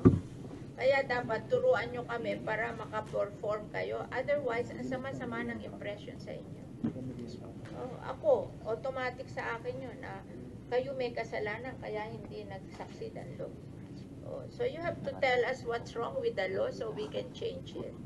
And we have to be very specific. Alam nyo, yan ang one of the lessons I learned as a senator. Lahat ng batas mo dapat very specific. Pag hindi mo in-specific, walang implementation. O, kaya ako, pag nagawa ako ng batas, may project, nilalagay ko kung magkano, sino mag implement ano ang ibibigay niya, ganun. Very specific, parang detalyadong detalyado, para walang nagkakagulo. Kasi, pag binigay mo sa kanila IRR, papalitan nila yung spirit of the law. Oo, totoo yun. Oo. Kaya yung law, dapat IRR na yon para hindi nyo mapalitan yung spirit of the law. Nung una, pinapagalitan ako ni Senator Drilon doon. Nung malaon, pinupurin niya na ako eh. Oo. Masama daw yung ganon, ganon. Sabi ko, di pa, i- pa, pa ano mo sa presidente mo, pa, pa veto mo sa presidente mo. Hindi naman binito ng president, kaya anong pagkatapos, okay na rin sa kanya. Oo. Dapat ganon. Very specific tayo kasi from my experience, pag hindi ka specific, papalitan yung spirit of the law. Yung gagawa ng IR, katulad nito, gumawa ng IRR, Bu- Bureau of Customs, nagkaluko-luko na. O, dapat inilagay na natin sa batas, hindi na sila may discretion sa IRR natin. Otherwise, papalitan ng spirit of the law. Ang spirit of the law is makulong bago mag ano magkaso. Kasi pag nakulong sa mayaman, grabe sa kanya 'yon. Enough punishment 'yon. Hindi na siya uulit o, sa isang mayaman. Kaya kailangan makulong siya bago magkaso kasi pagkaso, mailalakad niya 'yun eh. Mayaman siya. O, yun lang ang spirit of the law. Kaya pag-aaralan natin na mapakulong natin bago magkaso. Di ba? Kaya nga economic sabotage non-bailable eh. Oo, para ayaw niya ng ganun. Tingin ko titigil ng pag smuggle pag nakulong. Oo, kahit na temporary lang. Oo, kahit na ma-dismiss pa yung kaso niya afterwards. Ano? Madam Chair, at this point, I, I defer to my colleagues who were uh, Oh, first uh, Just, questioning. I'm just explaining. Oh. Okay, ma'am. Um, So- ah, sige po, ma'am. sabi nila ask daw natin ng DOJ kasi na ah, ano yung ano yung na didismiss ang kaso. Can we hear the opinion of DOJ by why na didismiss ang kaso? Nasaan ang DOJ? Yes. Good morning, Madam Chair. Yes, Madam Chair. Um, first, I would like to explain that the preliminary investigation is an executive function of the DOJ prosecutors and it involves in the investigation of cases. So, ang purpose po ng preliminary investigation is to establish whether the elements of the crime are present and there is a prima facie case to establish that the respondent is the one who committed the violation. So in this case po, ang prosecutors namin, nagre-rely po sila sa evidence as well as witnesses and other information or documents provided by the complainants, which in this case is the Bureau of Customs. So from 2016 to 23, 2023, based on the available report of our National Prosecution Service docket section, there are six violations of RA 10845 pending in the regional trial courts throughout the country. And these are ongoing trial. Thank you. Madam Chair, if I may po, ah, kasi speaking of prima facie evidence, so matanong po sa BOC, in Section 5 of RA number 10845, nakasaad po doon na mere possession of rice or any agricultural product under this act which has been the subject of smuggling entered into the Philippines other than the BOC controlled ports or without the necessary permits shall be prima facie evidence of smuggling. Ano pong ibig sabihin ng phrase ng necessary permits? Uh, for now, uh, Madam Senator, uh, we require SPSIC. Yun po yung uh, sanitary and phyto- phytosanitary inspection certificate. Uh, other than that, uh, we don't uh, require any other permit. So yun lang po yung necessary permit na hahanapin ng BOC, yung SPSIC lang. Yes. And ah, siyempre, dahil nasa proseso kami ng pag-review ng law, ng batas na to, gaya ng sinabi ni Chair, para ma matignan namin paano kami maka-introduce ng improvements, siyempre, kailangan namin siya sa atin kung sufficiently clear no yung yung terms. So SPSIC lamang eh yung yung import clearance po ah, permit po ba 'yon? Necessary permit po ba 'yon? Uh, y- yes, Madam Senator. Uh, we also need uh, import permits, but uh, not in all uh, commodities. Sa Uh, aling commodities lamang po? Uh, for sugar, we need uh, import permits. Uh, for, I, I believe we also need permits for onion. But for rice, under the rice tarification law, we don't need that anymore, except if they're uh, within the minimum access uh, volume. For uh, frozen products, uh, meats and poultry, we need also import permits, uh, Madam Senator. Uh, th- there are a lot more other commodities, but uh, th- there there are many actually. So, kailangan pa rin ng import clearance bilang permit sa asukal, ah, sibuyas, frozen foods, meat, at, at ilang pa. Pero, so, ito yung masasabi, kasama dito yung masasabing regulated products, no? sugar, kamat, ah, kamatis, sibuyas, ah, tabako, tama po? Mga ganon. So, kung may shipment pong pumasok sa ports natin na walang import clearance, walang yung necessary permit na yon, prima facie evidence of smuggling, tama po ba? Yes, Madam Senator. Alright. At mag issue kayo, ang Bureau, I mean, ng warrant of seizure, tama po? Yes, ma'am. Okay, and so tama po ba na yung import clearance, lalo na po yung mga regulated commodities tulad nga ng sibuyas, tabako, asukal, etc. nag indicate naka-indicate doon sa import clearance yung source of authority niya. Yes, yes, Madam Senator. Okay, so halimbawa po sa sa kaso sabi, sabihin natin ang asukal, yung isang import clearance kailangan mag-state na pursuant siya sa isang particular na sugar order, tama po? Yes, Madam Senator. Alright. So, ah, gusto ko lang po kasing linawin, Madam Chair, na yung dahilan na tinatanong ko itong mga tanong ay precisely para makita kung meron pang mga gaps o kaya ambiguities sa kasalukuyang batas. Kasi meron bang malabo, kasi gaya ng sinasabi ng Chair, baka yung batas natin yung may problema din. I, and again, I defer to my colleagues, Madam Chair. Sinundan ko lang po yung point ng prima facie evidence. Salamat po, Chair. Madam Chair, kung ano lang kasi very ano dun, very particular sa yung discretion, no? kasi nga wala pa yung computerization, yun ang dilemma rin ng, ng BOC, no? So, very ano yun, yung discretionary uh, authority na bibigay, um, if you will have another hearing, probably we can invite the head of, uh, sino bang head ng, ng Import Assessment Office? Um, uh, Your Honor, it's uh, Attorney Yasser uh, Abbas. Currently Kasi uh, ano yun eh, I think Madam Chair, in case we'll have another hearing, maybe he can answer a lot of questions, no, sa, lalo na yung iba-iba yung value ng ano, that's, uh, ano yun, smuggling din yun, no, yung iba-iba yung value ng port na, sa iba't ibang port ng mga products. So, that's all, Madam Chair. Madam Chair, pwede na po. Ako po. Okay. At sundan ko lang po yung tanong natin kanina, yung sa intelligence. Nasaan po si, si Sir Intelli- Intelligence?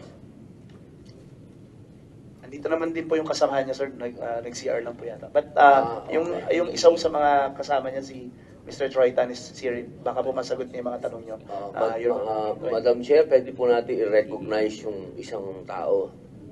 Yung Isang sir po natin sa intelligence.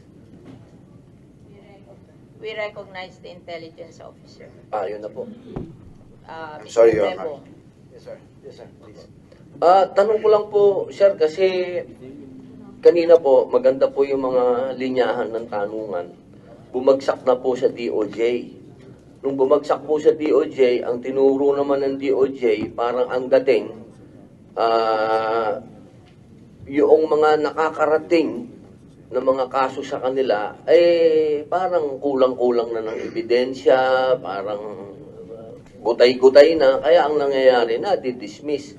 Ang tanong ko po, Kayo po ba sa loob ng Bureau of Custom, wala po ba kayong parang internal affairs, parang ah, sa police may ganun eh, yung iniimbestigahan nyo yung mga tao po ninyo, kung sino talaga dyan yung mga involved dyan sa...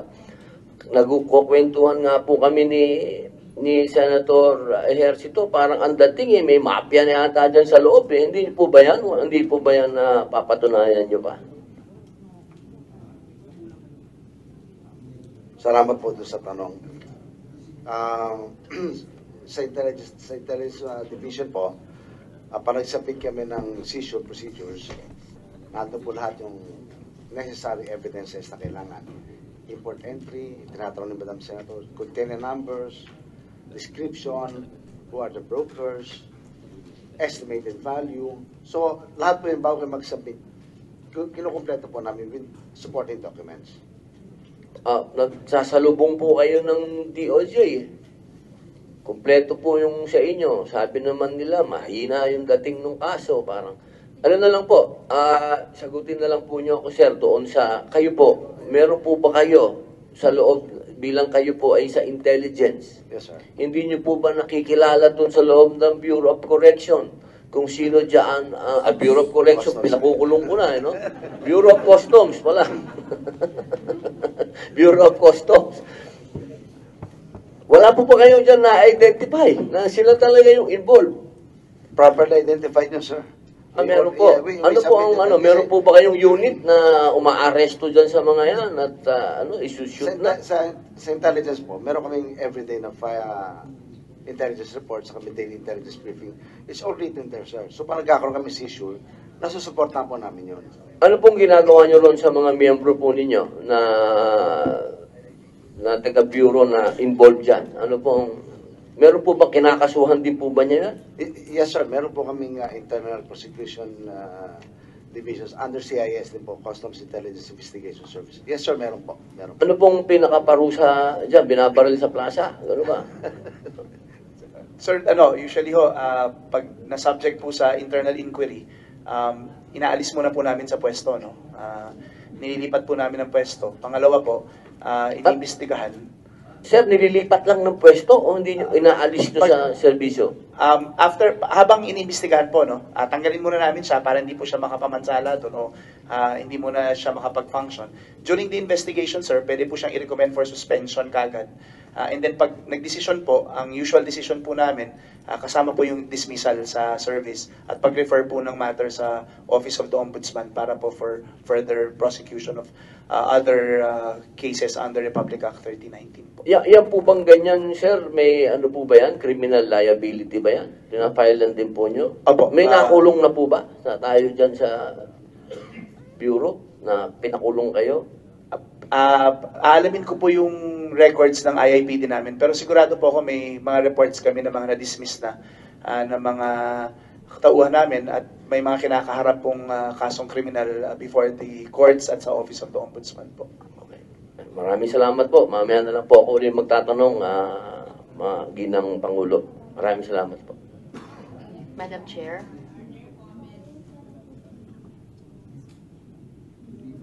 There comments from the private sector. Uh, Yeah.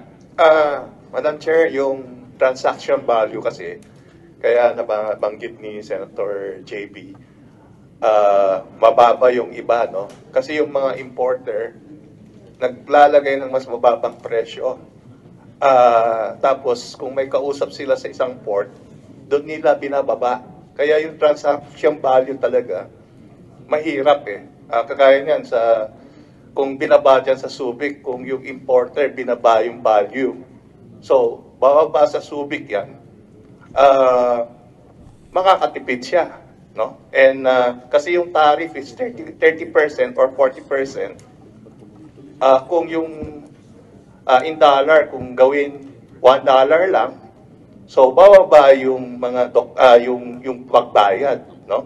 So dapat may reference value talaga kailangan na in which mas maganda yun. Yung reference value dapat based on world market. Kagaya niyan yung sa sa rice.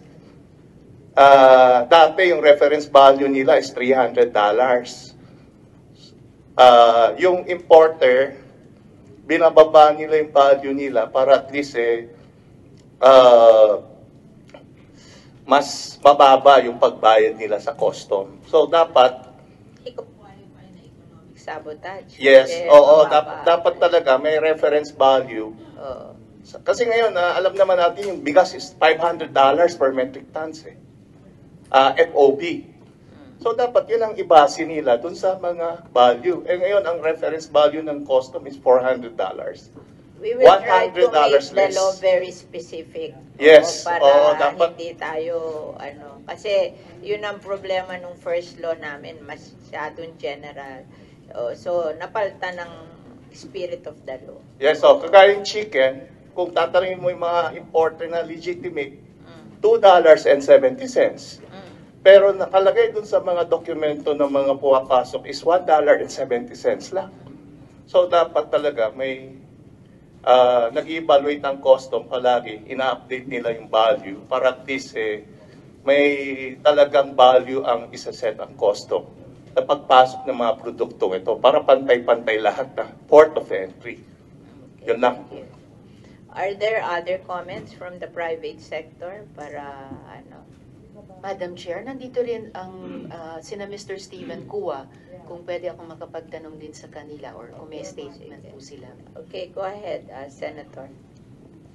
Thank- very- Yeah, Yes, sir. Yes, good morning, uh, Madam Senators, Madam Chair. Um, very simple lang naman aming stand, no? I mean, we all know naman in general, no, how uh, smuggling affects the whole uh, economy, not just the certain industries, no? Pero specifically, unlevel playing field, no? Kasi yun na nga, there will be some retailers who might have access to smuggled goods and sell this at a lower price, no? As compared to other supermarkets which have to sell at a higher price, no? Lalo na sa palengke rin, di ba? So, it's pretty, uh, have we, have we been um, offered? Yes, no? Mga leg quarters, tsaka ano, no? So, meron mga nag-o-offer na gusto ba ninyo? Kaya lang, may minimum order, no? Kasi manggagaling pang medyo malayo-layo, di ba? So, it's very rampant and it's very clear that um, it is out the market and uh, smuggling has been affecting uh, people who want to uh, abide by the law and uh, comply properly no, with the taxes na kailangan bayaran, buwis na kailangan bayaran sa gobyerno. No? So illicit trade is killing legitimate uh, businesses which are which want to do business and which want to uh, um, help the economy. No? Lalo na consumer-led economy po tayo. Thank you. Madam Chair, kung pwede makapag-follow up question kay Mr. Kua. Sir, uh, so nabanggit nyo rin no, in terms of the effects of agricultural smuggling uh, sa market. In particular, paano naka-apekto yung agri-smuggling sa yung binanggit yung mga presyo ng mga bilihin sa supermarket? Um, kami po naapektuhan din in terms of supply, no? Lalo na nung um, pati itlog for a while, di ba, dati. Uh, onions, very clear, no? Sugar, specifically. It's been a year since, you know, we mentioned that uh, it's been over 100 pesos a kilo, no? Uh, I found out yesterday, I was asking magkano sa Bacolod, no? Since they produce sugar. Sugar millers yun, kahit na hindi na imported ng sugar. They're selling at 90 a kilo right now, no? For white refined, no? So, um, DTI has uh, for all, always set the sugar to be, you know, ideally at 50 pesos a kilo, white refined, okay? Uh, but uh, even though they set it at 50, it was already set at 60 at that time. That was around April last year. From April to around June, it went from 60 to 70, 80, 90, a hun- over 100, no? And ever since, ang nakakatuwa, there hasn't been a lack of supply. If we order, there are, may, may na, they deliver sa amin. So why, we can understand why uh, it, it's selling at such a high price. So somewhere along the way, someone's gotta do something. Opo. The importer and the trader, they, they, they cartel. And There's we- a cartel. Kasi, ang puhunan ng sibuyas, onion, is 25 pesos. How can it go to 600 to 700? That's out of this world. So talagang may cartel. And pinababayaan yung cartel. That's why we included in this bill yung cartel. Kasi in addition sa smuggling, yung cartel din pinapatay. Kasi yung cartel, pip, babili nila ng murang-mura sa farmer. Wala naman choice ang farmer. Kasi kontrolado nila yung yung ano, yung ano tawag doon yung warehouse na ano cold storage. So walang choice ang farmer. I I went to in 2014 I went to ano to Nueva Ecija. Walang laman ng warehouse pero kontrolado ng cartel. Oo. So yung mga farmer cannot access and and the the warehouse is owned by the cooperative of farmers pero pina pinalis nila sa cartel. Hindi nila pinagamit sa farmers. Oh, walang laman. So yung mga farmer, they're forced to sell to the traders kasi mabubulok lang yung kanilang sibuyas. Ang puhunan lang nila 25. Tapos eh, bibili nila, hindi ba yung taga Mindoro binili lang ng 8 to 15 pesos? Umiiyak nga eh. Pero wala silang choice kaysa mabulok, di ba? And then, ibinenta ng 600 to 700. Just last week po, back to sugar, just last week, uh, commercial sector has been asking me, nabigyan ba kayo ng imported sugar for households? I said, akala ko na sa inyo. They said that those which were raided Alam were... mo, sugar, ang nag import yung ano, sugar miller. Hindi na sila kumikita sa milling. Yung binibigay sa kanila ng mga sugar farmer, hindi na doon. Import ang ano. Kasi tinatanong ko yung mga company, are you allowed to import yung mga gumagamit ng sugar? No, they refer us to uh, a certain person to import for us. They're not allowed to import the manufacturing. So, kontrolado salamat. din yun. And maraming salamat, Madam Chair, for highlighting that problem, no? Nung cartelization, monopolies, and kaya siguro, ang dinidescribe nyo, Mr. Kua, yung weird behavior ng market, kasi may some kind of, siguro, manipulation uh, going on. Sabi nyo nga po sa amin kanina, mukhang may supply naman sa ilang produkto, and yet, halos di nagbabago, lalong di bumababa ang presyo ng mga ng ilan na mga iyan uh, even for the past year. Uh, before I return to a, a, a question of uh, to BOC about sugar dahil binanggit nyo na rin Mr. Kuwa. So marami pa rin bang bumibili ng sibuyas, asukal, etc. sa ganyang halaga sa ngayon? Um, it's funny, but when I asked around yung wage earners, they don't buy sugar anymore. They just buy they just buy three in one for coffee. I was surprised. No, they don't. If they don't have children in their homes, no, they live in Manila. Besides, that's good for them. They will not develop diabetes. I know, I know. From one sense, yes, that's correct. No? Pero from the other sense, You is, uh, you know, know, uh, for your information, I endorse people to our hospital. Ang nagda-diabetes ngayon, chronic kidney disease, one-third, 20 to 40 years old. Wala yan dati. Oh, but ngayon, kain kasi sila ng kain ng sugar, ng junk food. Kaya mabuti nga magmahal para wag na sila kumain. On the health perspective, Madam Chair, I agree with you 100%. Nap napakapait lang nung dinidescribe nyo sa amin, Mr. Kuwa, na it's a forced uh, healthy uh, lifestyle. And dahil may ibang nagka-cartelize or nagmo-monopolize to the detriment of of the whole market. And, and picking up, Madam Chair, from yung isang, uh, yung pagbibigay uh, pansin din ni Mr. Kuwa dun sa sugar, may huling tanong ako kaugnay nung uh, ano ba ito, prima facie evidence sa BOC. Kasi alam ko po na BOC relies on the presentation of that import clearance and other necessary permits.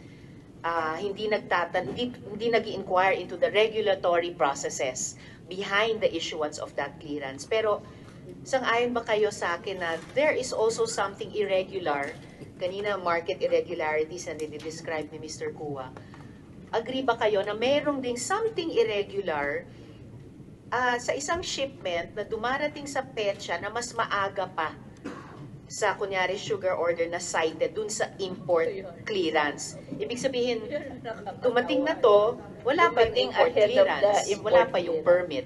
May irregular ba dun?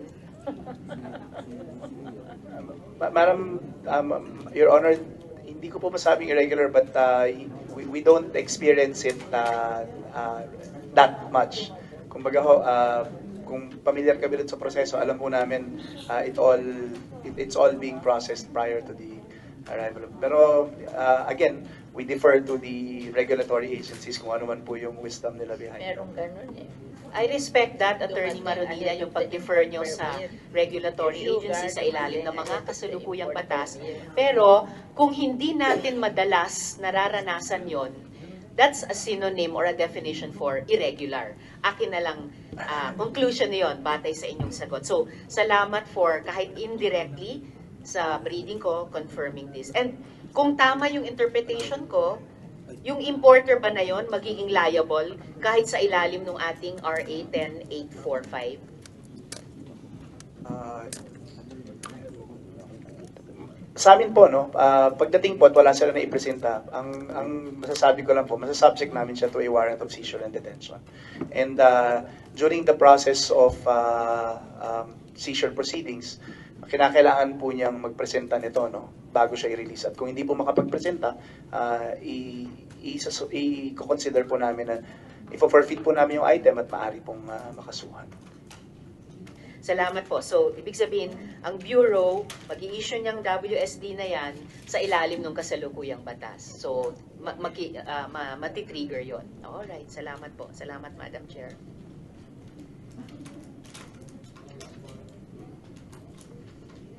Ah, thank you, ma'am. Kasi, ma'am, ah, kanina, kaya ko nire-reiterate yung transaction value. Kasi na, meron na nga tayo maliwanag na computation na because of the itong dis- discretion ng kosto na maggawa ng reference value, nagkaroon ng difference ng mga 6.8 billion for one year yung importation ng pork and chicken. So, alisin natin, pwedeng may reference value pero hindi dapat sa Congress ang discretion na mag, ay, maglagay ng presyo na dapat ah, maging basihan ng takbo ng presyo ng mga produkto. Pero kung hindi, at least yung transaction value, kung merong magre-review, at may, ang mga nagre-reklamo, ma'am, ay yung mga legitimate importers. Kasi dihado sila. Yung mga nagkakaroon ng undervaluation, uh, technical smuggling, uh, dihado sila doon sa mga legitimate. Sila ang nag, nagsusumbong even sa akin na ito ang iyong tingnan. Kaya malinaw na yung reference value may justification ng importer na ito yung base sa ginawa ng custom. Yung transaction value, pag na-verify natin, pwede natin verify kung saan siya bumili. At ang sinasabi nila, true bank transaction ang dapat. Hindi, doon sa bank transaction, may meron po tayong makikitang ah, payment. Kaya, pwede po nating ilagay yon bank transaction ang ang dapat sa importation. importante yan, ah, Congressman, kasi magpapasa tayo ng bill para sa livestock, poultry, and dairy, ang panggagalingan ng pera is yung collection ng tariff. So, kung ibinaba nila yung, yung value, kokonti yung makukuha yung pera for your development. Kasi ganun ang ginagawa namin ngayon, yung yung ginagamit for developmental ng mga ah, agricultural sector nanggagaling sa collection ng tariff ng imported o para at least makinabang kayo do sa tariff ng importation para i-develop yung industry. Ganyan ang ginawa natin sa rice. Eh. Oo. Madam Chair? So, importante na tama yung, transa- yung transaction value kasi kung hindi, di wala kayong makukolekt ng tariff. Madam Chair, follow up kay Rep. Briones. Rep, nabagit nyo kasi yung bank transactions. Naisip ko tuloy, posible bang maimbestiga natin ito ng maigi at maamyendahan yung batas ng maayos kung humingi din tayo ng inputs mula sa AMLA? Ah, ah, mas hindi sa AMLA ah, Madam Senator ah, tingin ko yung kung saan galing yung pera nila. Pero yung yung kaya ko sinadjust na kung pwede ang importation ay through banks. Kasi may record. Kasi yung yung nakakapagdahilan na binababa ng custom do sa dadaanan ang ang, ang value eh yun eh, sinabi lang niya eh. Pero kung yan eh, merong record through banks ng payment, hindi na kayang i-deny yung, and yung tunay na value ng pagkabili niya ng, ng produkto. Salamat, Madam Chair. Madam Chair, Senators, if you allow my intervention. We recognize the representative of the tobacco industry, Philip Morris International. Okay, thank you. Thank you, Madam Chair. So I guess as you can gather from my Australian English accent, um, I haven't been able to follow most of the conversations, respectfully. But I did notice many of the questions were directed towards customs. Uh, and I have to say that in the tobacco industry, respectfully, customs and the broader law enforcement uh, associations, organisations have done a tremendous amount of work to address the issue of smuggling of tobacco products into the Philippines. However, unfortunately, the problem still persists. So my name is Rodney Van Doren. I represent Philip Morris International, otherwise known as PMI. I'm the head of illicit trade prevention for the south and southeastern part of Asia, and I'm based out of our office in, in Hong Kong. In the Philippines, our company here uh, is the manufacturer of brands such as Chesterfield, Fortune, and Marlboro. And we are today, in the legitimate tobacco industry, uh, the largest tobacco company. Maybe a few comments on taxation, if I can.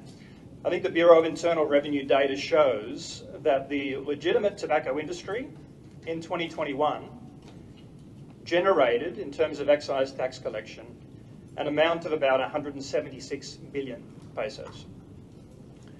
And in the year 2022, there was an excise tax increase that took the per pack tax rate from 50 to 55. Now, in a situation like that, you would hope there would be an increased level of tax collection.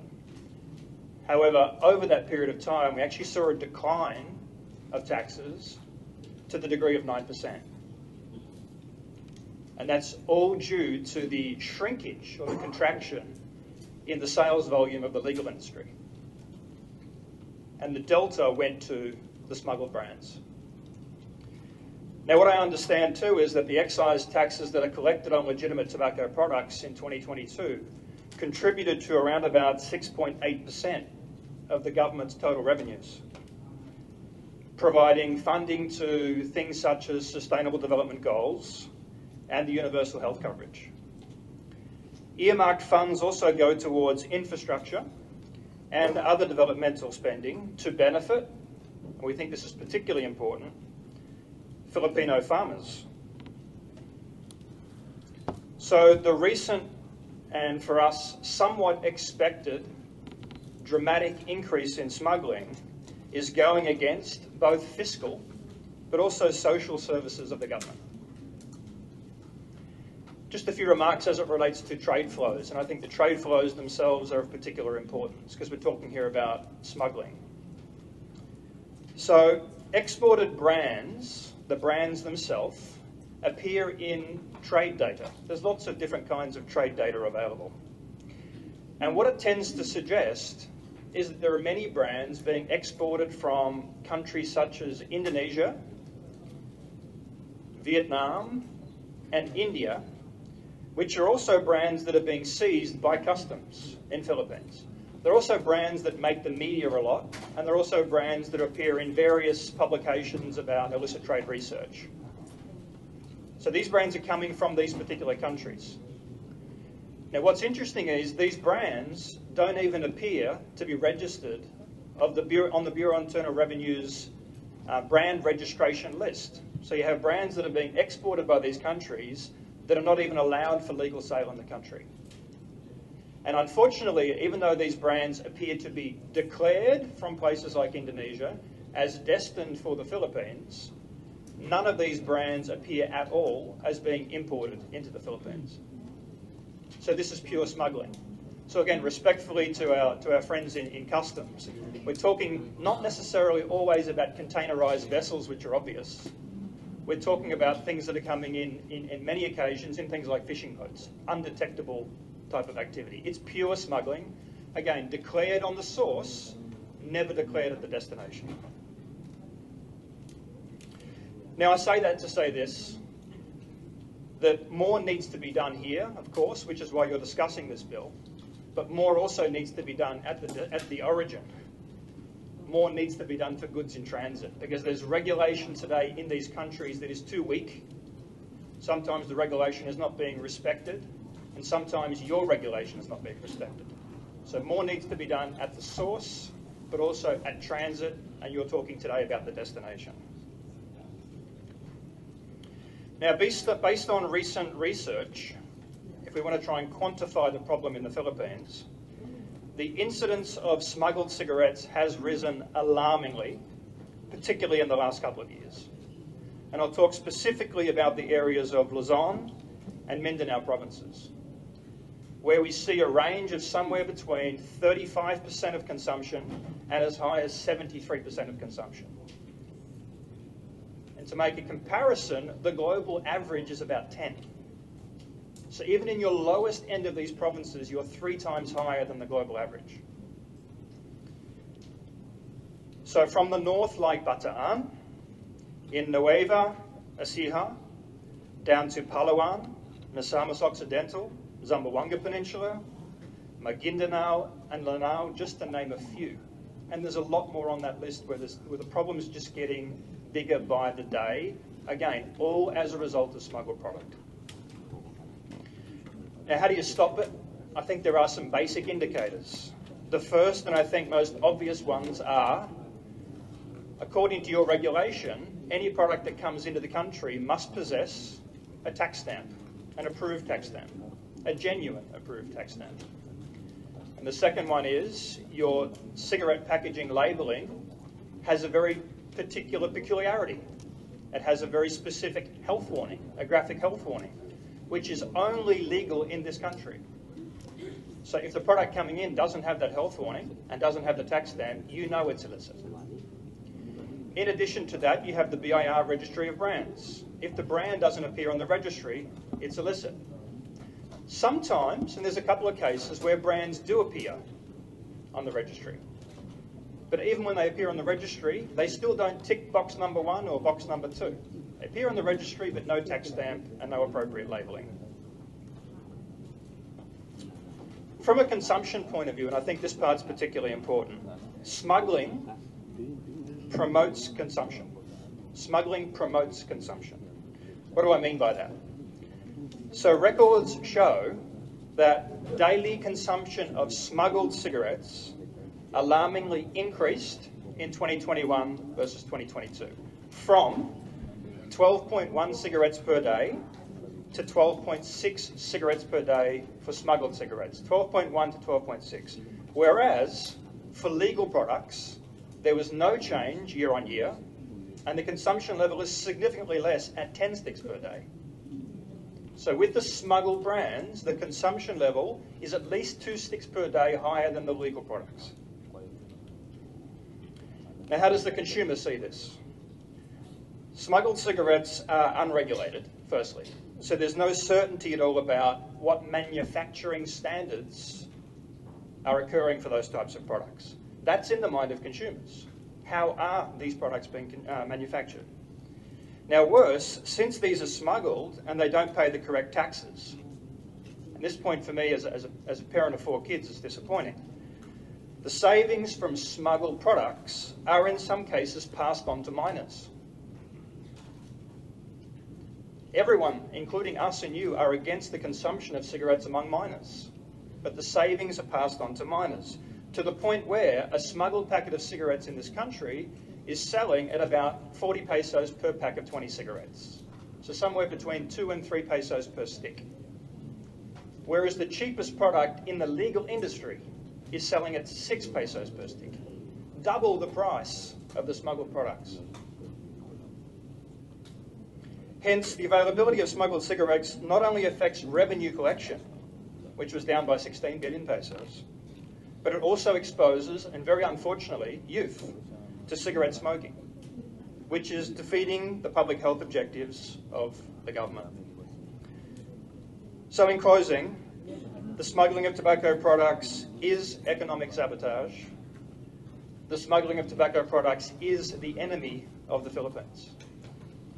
So therefore, in view of the foregoing, we support the passage of Senate Bill number 1812, and will put a, as this will put a stop to the proliferation of smuggled tobacco products. So thank you for your time. Thank you, Mr. Duran.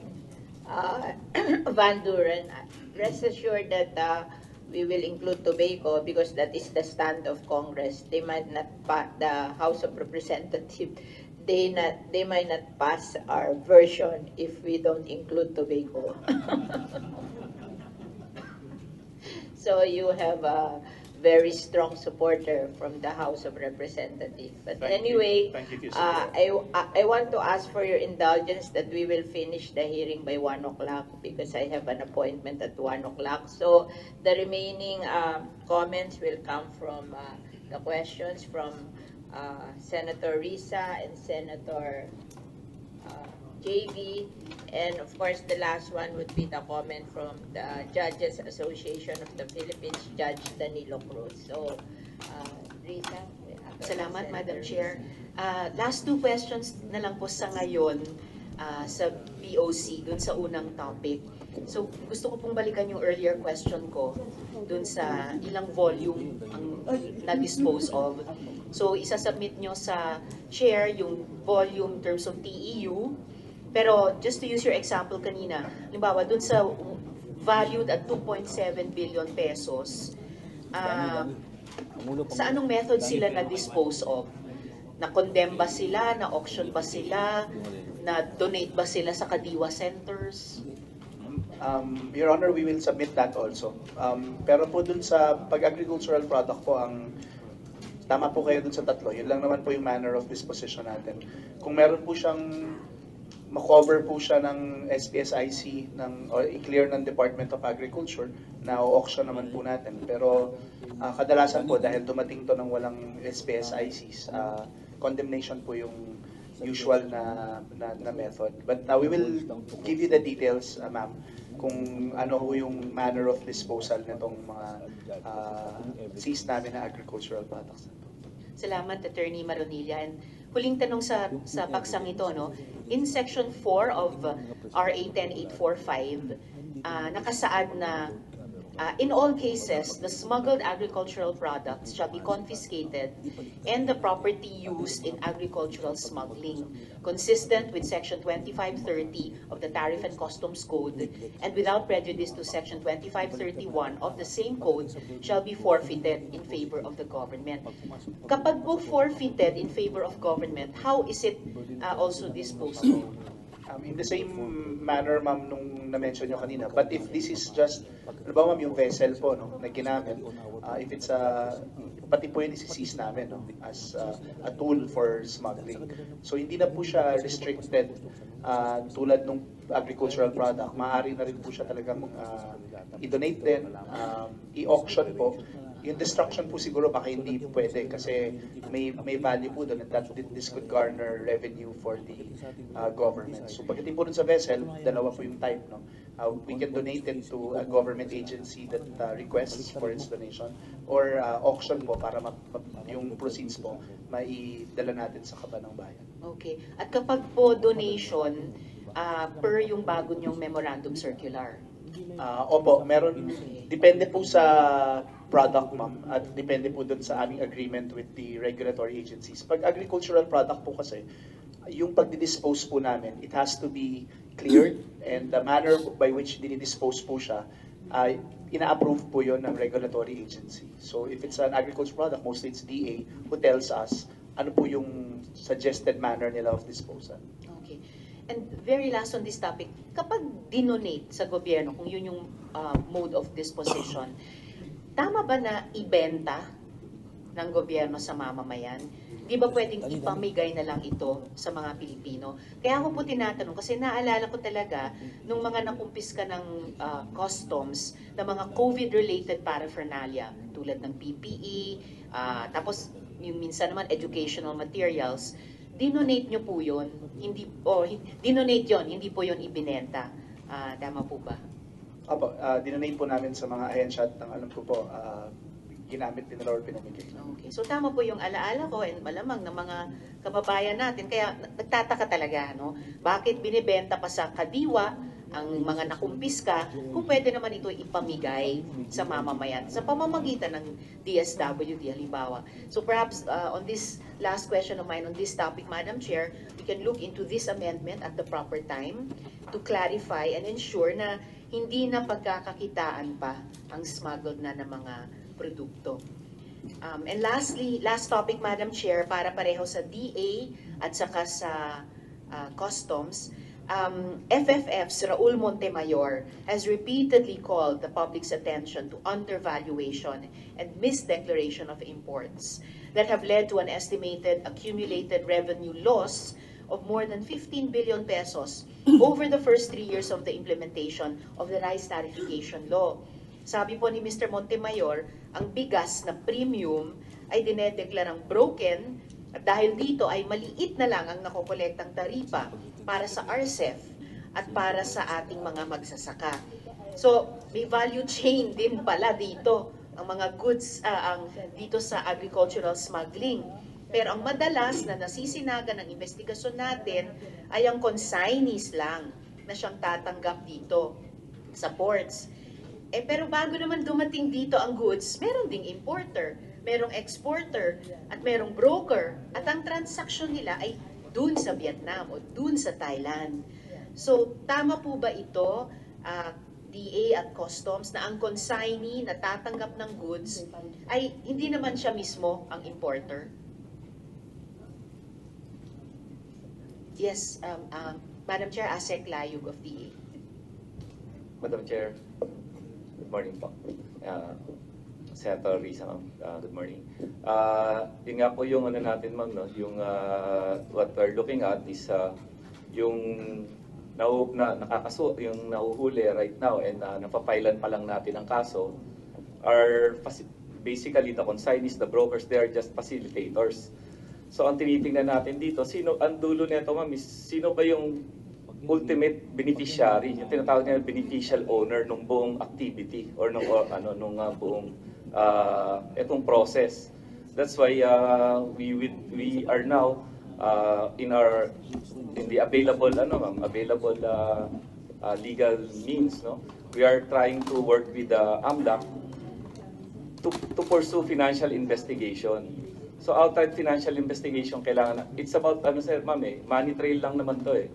So yung smuggling kasi it's about everything's about ano sir eh, uh, uh, profit and uh, it's about uh, money no economy. Kaya uh, I think we should be heavy more on the financial investigation aspect.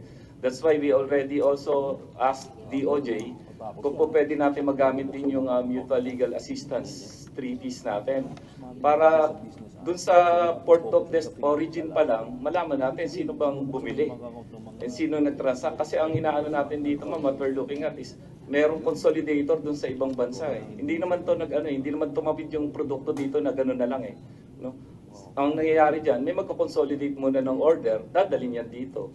No, pagdating dito, yun ang nauhuli natin sa first border. So, ang uh, what I'm uh, uh, trying to ano ma'am is uh, say we are, we should strengthen our control over the border continuum uh, concept framework.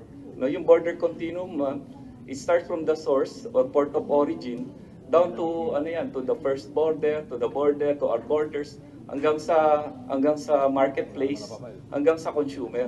Yung buong trade highway, ma'am, that that's what we should strengthen our control. Kasi kapag ka ganun, may checkpoints tayo, uh, I think we will be able to at least curb, curb out yung ano yung uh, yung itong illicit activity na to. Yun po. Thank you. Salamat, ASEC. So sa pag-amyenda namin itong ah, Anti-Agricultural Smuggling Act, kailangan ah, in a way parallel siya dun sa trade highway na sinabi nyo. Gagamitin namin yung border continuing concept. Continuum concept. Yes, sir. Border continuum concept. Mm-mm. At halimbawa naman po, meron kayong, or may, ang, ang BOC na sabat na misdeclared na premium na bigas na nagpapanggap na broken rice, pero hindi naman umapela yung may-ari ng harangin ito ng team ng DA at saka BOC. Ah, tinun tinutuntun ba ito ng DA at saka BOC? Pwede kasing ipa-blacklist yung mga yon, di ba? Kapag nahanap na natin sila. Yes, ma'am. Uh, outright, ang investigation should not stop. Uh, for me, ma'am, I, I, my stand is, uh, it, it should not stop dun sa pagka nahuli na yung produkto. We should uh, pursue yung ano, dahil uh, it's an organized activity. So we have to find yung uh, the ultimate ul- ultimate beneficiary nga nung ano no, nung produkto ma'am or nung nung activity. So, sa ngayon po, ASEC, ano ba ang hawak nating impormasyon ah, tungkol nga dyan sa importers, exporters, brokers na yan, na dun sa ibang bansa, nag-mastermind, nag-bankroll ng smuggling, nag-consolidate. At kaya ba natin silang panagutin ng mga batas na meron na tayo sa ngayon? Yun yun ang isang handicap natin ma'am kasi the, with regards to agricultural smuggling, yung produkto ng ah, yung agricultural product commodity ma'am, doon sa ibang bansa, hindi siya illegal eh. 'Di ba? Ah, open yung yung transaction. So it becomes ano dahil pagdating dito yung we are enforcing our our our, our, our laws and our regulations. So we we believe we can really we can actually ano namin uh, directly liaison with the with the origin uh, port of origin source source countries para mas mabilis yung ano ma ah, mas transparent yung monitoring natin dun sa sa movement ng goods and uh, products. At kaya rin yung binanggit kanina yung yung hiling nyo sa DOJ na i-activate yung mutual legal assistance, kaya nyo rin binanggit yung AMLA. Yes, Kasi nga itong So cross-border we nature can, ng kasi we can, we can uh, ano, eh, find, find out a lot of things through financial investigation. Kasi gumalaw yung, yung product, gumalaw yung goods because of uh, transaction. So I believe, sabi nga ni uh, Congressman uh, Briones, is uh, yung bank transaction alone will, uh, will show sino yung beneficial owner ng, ano, ng buong activity. At huling tanong ko sa huling paksang ito, Madam Chair, ah, meron po siguro kayong DA at BOC na roadmap para mapalakas ang paghuli sa smugglers, pati yung mga actors doon nga po sa port of origin ah, ang transaksyon. So, sa mga kasama natin sa ASEAN, halimbawa, nabanggit nyo na rin po uh, si Clayug, yung mutual legal assistance. So, sa mga kasama natin sa ASEAN, meron na po bang collaboration ang mga customs authorities para dun pa lang nga sa port of origin ay na-check na ang authenticity ng declaration o ah, ng nature at value ng goods na dadalhin dito and specific po sa bigas, ah, ano ba ang pwedeng gawin para man lang magkaroon tayo ng officially vetted reports at recommendations tungkol sa misdeclaration at undervaluation ng ating regulated agricultural commodities. Uh, if I may, uh, Madam Chair, good afternoon po. Uh, for us, in my, uh, actually I'm six months old sa DA, uh, yung buong activity, we, we were able to come up with a agri-fishery security framework. So, we want to strengthen nga yung ano natin dito to curb out, uh, really address the agricultural smuggling issue. So, we look at it on three three approach from prevention, suppression to prosecution. Sa prevention, ma'am, we really have to strengthen our border border continuum control. No? Uh, there's the first mile, second, middle mile, and the last mile uh, approach. Sa first mile, yung port of origin o yung source, we really have to strengthen our control over there. Uh, we are looking on the possibility and uh, also consulting with other stakeholders to sa pre-shipment inspection pa use uh, to use yung third party for the pre-shipment inspection ma'am ng mga containerized or yung mga agri products especially yung refrigerated container vans. Kasi diyan lahat naman dumadaan doon sa majority doon sa refrigerated container van. So yung pre- pre-shipment inspection like uh, may mga companies na gumagawa accredited tayo ngayon diyan ginagamit din naman natin sa bulk and break bulk yan. Uh, Halimbawa yung SGS. like SGS, Bureau Veritas, marami ng ano eh.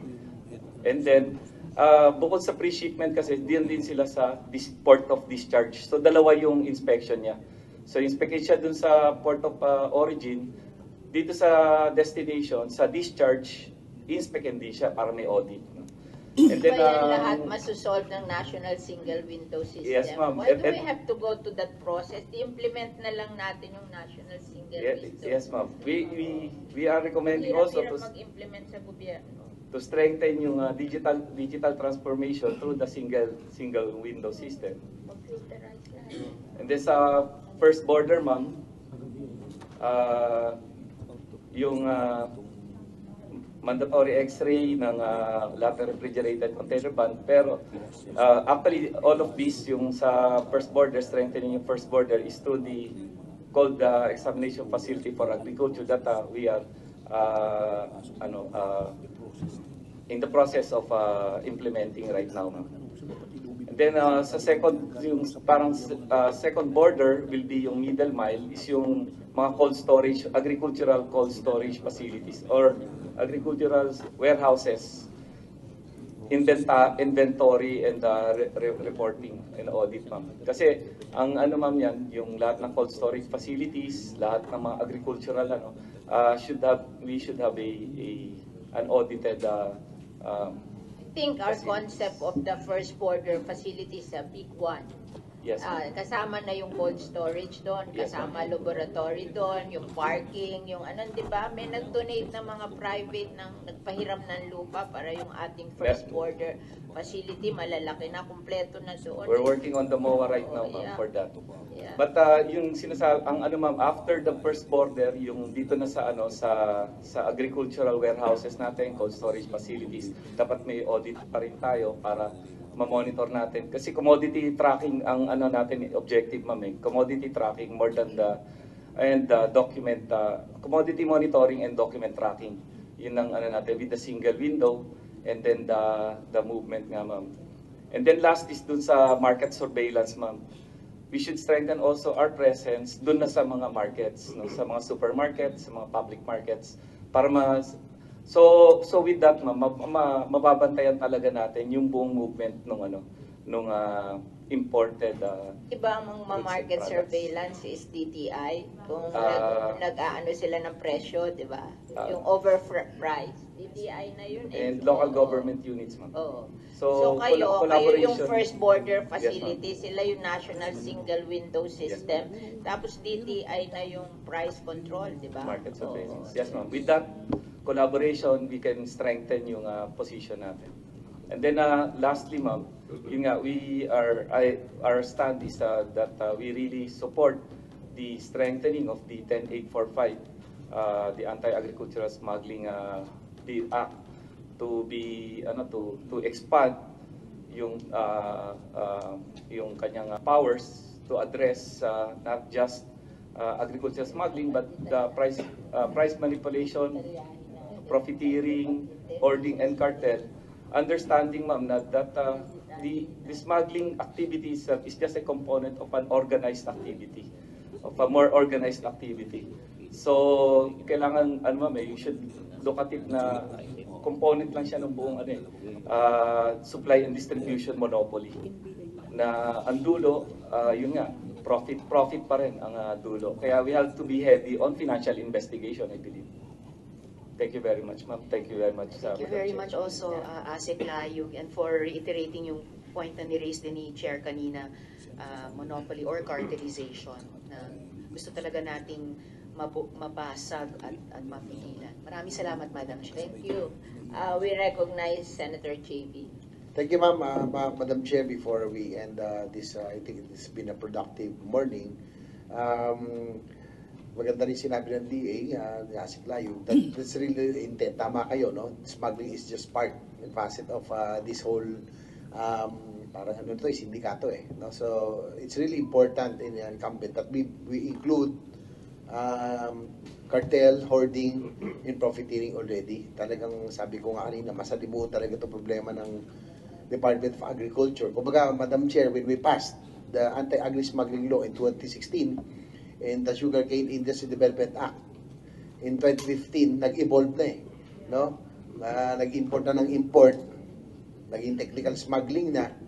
But by but had we if had the agencies implemented properly these two um, laws that were intended really to strengthen um, the local agriculture industry, especially specifically sugar and even rice.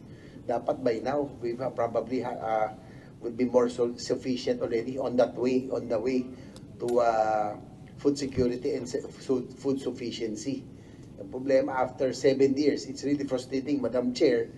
Hindi naman madali itong ginawa natin magpasa ng batas eh. Napakahirap na ito eh. Ang hirap magpasa ng batas, pero kung ganito lang, bababayaan din ng mga agencies, eh, bali, wala itong ginagawa natin. Ang masama, nakakalungkot, Madam Chair, these, had, these laws had good intention, which was really to strengthen the local agriculture industry. So, hopefully, uh, Madam Chair, under your leadership, uh, if we pass this, uh, DWG to, uh, with all the interventions this morning and take, in, take into consideration, we will have a stronger um, law this time that will really protect, be able to protect, protect uh, our local uh, agriculture industry. Uh, Madam Chair, dagdag ako na rin po yung sa tabako dahil isa being uh, kami po ni Sen. Risa, eh, ano kami, mga health advocates. We were co-authors of the, I as the principal sponsor and the author po uh, si natin, si, uh, si Sen. Risa. Hindi naman sa pinopromote natin, but yung unregulated entry of uh, smuggled tobacco will encourage more smokers. Mas mabuti ng regulated. At saka siyempre ako may bias. Gusto ko yung yung kinikita mula doon sa syntax mapunta sa Universal Healthcare Fund at least kaysa naman pumapasok sila yung smuggled products na wala tayong nakukuha nag encourage pa ng smoking so Madam Chair I, uh, I concur with you to include uh, tobacco as part of the anti-agriculture smuggling uh, law as, amend, as amended So with that, Madam Chair, um, I'd like to thank you again. Uh, sana po may tuloy natin to, mapasa natin and this time around, magiging specific na tayo. We learned our lesson during the first time. So, Madam Chair, thank you. Thank you, Senator JV. Ah, mabait naman si Senator Robin Hood Padilla. Hindi na daw siya magsasalita para matapos tayo on time. Ah, kaya mahal na mahal ko yan eh. anyway, ah, somebody is raising his hand, Mr. D. Uh, thank you, Your Honor. Um, I just want to add something to what was said by Senator GB and uh, my colleague from Philip Morris. Um, we're associated Anglo-American Tobacco Corporation, and despite the name, we're actually the last local Filipino-owned cigarette factory in the country. Um, for the past 10 years, we've been facing business losses because of all this smuggling. Case in point, I've had to cut our hours from five days a week to two, three days a week. I've lost 200 employees because they've had to find other work or I've had to lay them off. And on the farmer side, I used to have 2,000 contract farmers. Now it's down to 1,500 tobacco growers. And what my father would like to convey to the community is that it's about time. We've been praying for all these laws to come in to stop all this smuggling. But and I would also like to share something that happened um, earlier this year. It's pertinent to Senator Lapid's bill. In particular, the counterpart bill filed by Congressman Marcos III in the lower house uh, regarding adding tobacco to economic sabotage and making it non-available for large scale. Something interesting happened. When that was publicized this January, suddenly all the illicit trade stopped. For two, three weeks, we were operating. Yes, ma'am. For two, three weeks, we were operating. Our salespeople were saying, all the brands, nagligpit, nagtago lahat. So the mere, so there is proof that the threat of non-bailability will work. But here's what happened next. After two, three weeks, they were back with a vengeance. Yes, sir. Actually, this is what happened. They read the law. The, the people who are actually selling the cigarettes to the common man are retailers, wholesalers. The threshold of the law is 1 million pesos. That's 30 master cases. Ang retailer o takatakboy, isa, dalawang pack lang hawak niyan. At most, lima. Ang wholesaler, maybe 2-3 cases. Para matamaan sila ng batas na to, kailangan magbitbit sila 30 na master cases.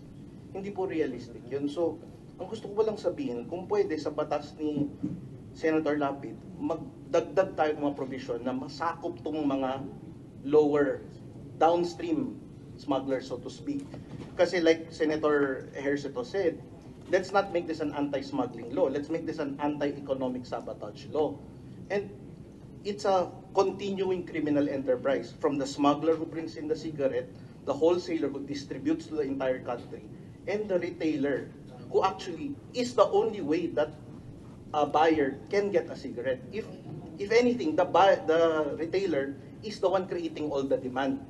Siya ang kumikita, siya yung nagpapakita sa buyer, sa ating mga taong naninigarilyo, na ito ang available na sigarilyo. Thank you, Mr. D. Uh, We will have a technical working group after the suspension of this hearing. Maybe you can give us a briefer on what you want to do to solve this problem. Okay, So that can be considered in the final drafting of the law. Ah, thank you, Okay, ma'am. Yeah. Madam Chair, before I we, just- oh. before we adjourn, yung, I support your, and also your, uh, uh, you move to have an anti-agriculture smuggling court, special Yeah, court. yeah. Para That's din mag, what- maging, yeah. magkaroon ng ngipin, para mas maging matapang itong batas. So, at least So, dito yung mga we- we judges are here also with us. We recognize Judge Danilo Cruz, the president of the Philippine uh, Judges Association. They are helping us in drafting uh, an anti-smuggling court na practical and doable. So they are here. they are asking why you are here. I said you are helping us in the anti-smuggling court. Oo. Uh, Good morning, uh, Madam Chair, good, uh, Senator Villar, Senator Ontiveros. Uh, Pinapanood ko lagi yung pelikula nito, si Padilla. At saka, namimit namin lagi si Senator JB nung mayor ka pa. Dahil uh, I'm, uh, naka-assign po ako sa Pasig at magkasama kami ng mga taga San Juan. Uh, the Philippine Judges Association is uh, fully supportive of the amendment to be made on the Anti-Agricultural Smuggling Act of uh, 2016. And uh, we welcome the de- development on this law that uh, uh, in the economic sabotage, it will uh, involve not only smuggling but also profiteering, cartel at saka yung yung isa yung hoarding, hoarding. And uh, we, we are willing and will be doing our job in, in applying the full force of the law. We promise you na uh, pag uh, napunta sa amin ang kaso, mag-i-issue agad kami ng warrant. Oo. Uh, we promise you that. Pero, pero kanina medyo hingi akong permiso ha. May narinig kaming baka hindi nagtutuloy ang kaso eh dahil nakakausap ang judge. Hindi po, hindi po namin ginagawa yon. Uh, it is ministerial on our part to issue warrant dahil uh, pag may probable cause, gagawin namin. And uh, pinapangako namin na patuloy kami makikipagtulungan sa Senate, sa Congress, uh, sa kung ano ang pwedeng maging uh, contribution ng judiciary. Uh, that is our commitment to you and uh, also to the public. Salamat po, Madam Chair. Madam Chair, bago mag, ano, ano Salamat pala kay. Judge. Kasi under siya nung San Juan RTC, no? At saka San Juan Pasig doon. Sino ang pinakamabait na mayor doon? Ayan na naman ang Ikaw. question. Ikaw kasi lahat Palagi ng may question lahat ng request namin You're the granted. best. Yes, uh, Deputy Court Administrator. Good afternoon. Yes. I'm Deputy Court Administrator Jenny Lind Aldecol de Lorino, and I'm appearing on behalf of Chief Justice Alexander G. Gasmundo and Court Administrator Raul Villanueva, who are both abroad at this time. So good afternoon, uh, Madam Chairperson and the members of this honorable committee and the distinguished representatives of the departments, agencies, institutions, and the private sector who are present today. We are grateful for the opportunity given to the judiciary to participate in today's hearing. We in the judiciary fully appreciate and support the Honorable Chairperson and members of this Committee on Agriculture, Food, and Agrarian Reform for proposing bills to amend RA 10845 or the Anti-Agricultural Smuggling Act of 2016.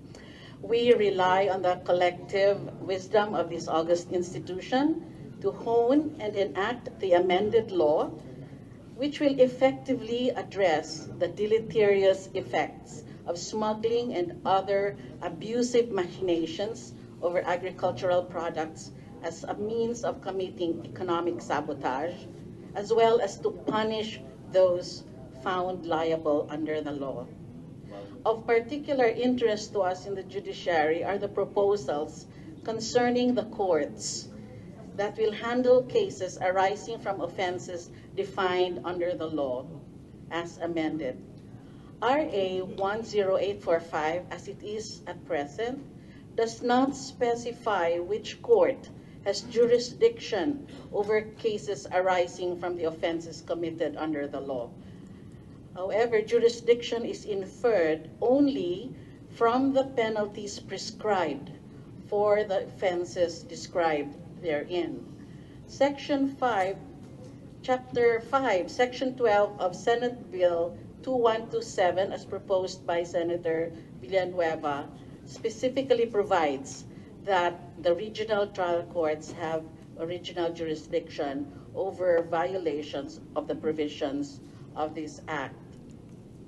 As of May 9, 2023, there are a total of 1,133 regional trial courts throughout the country.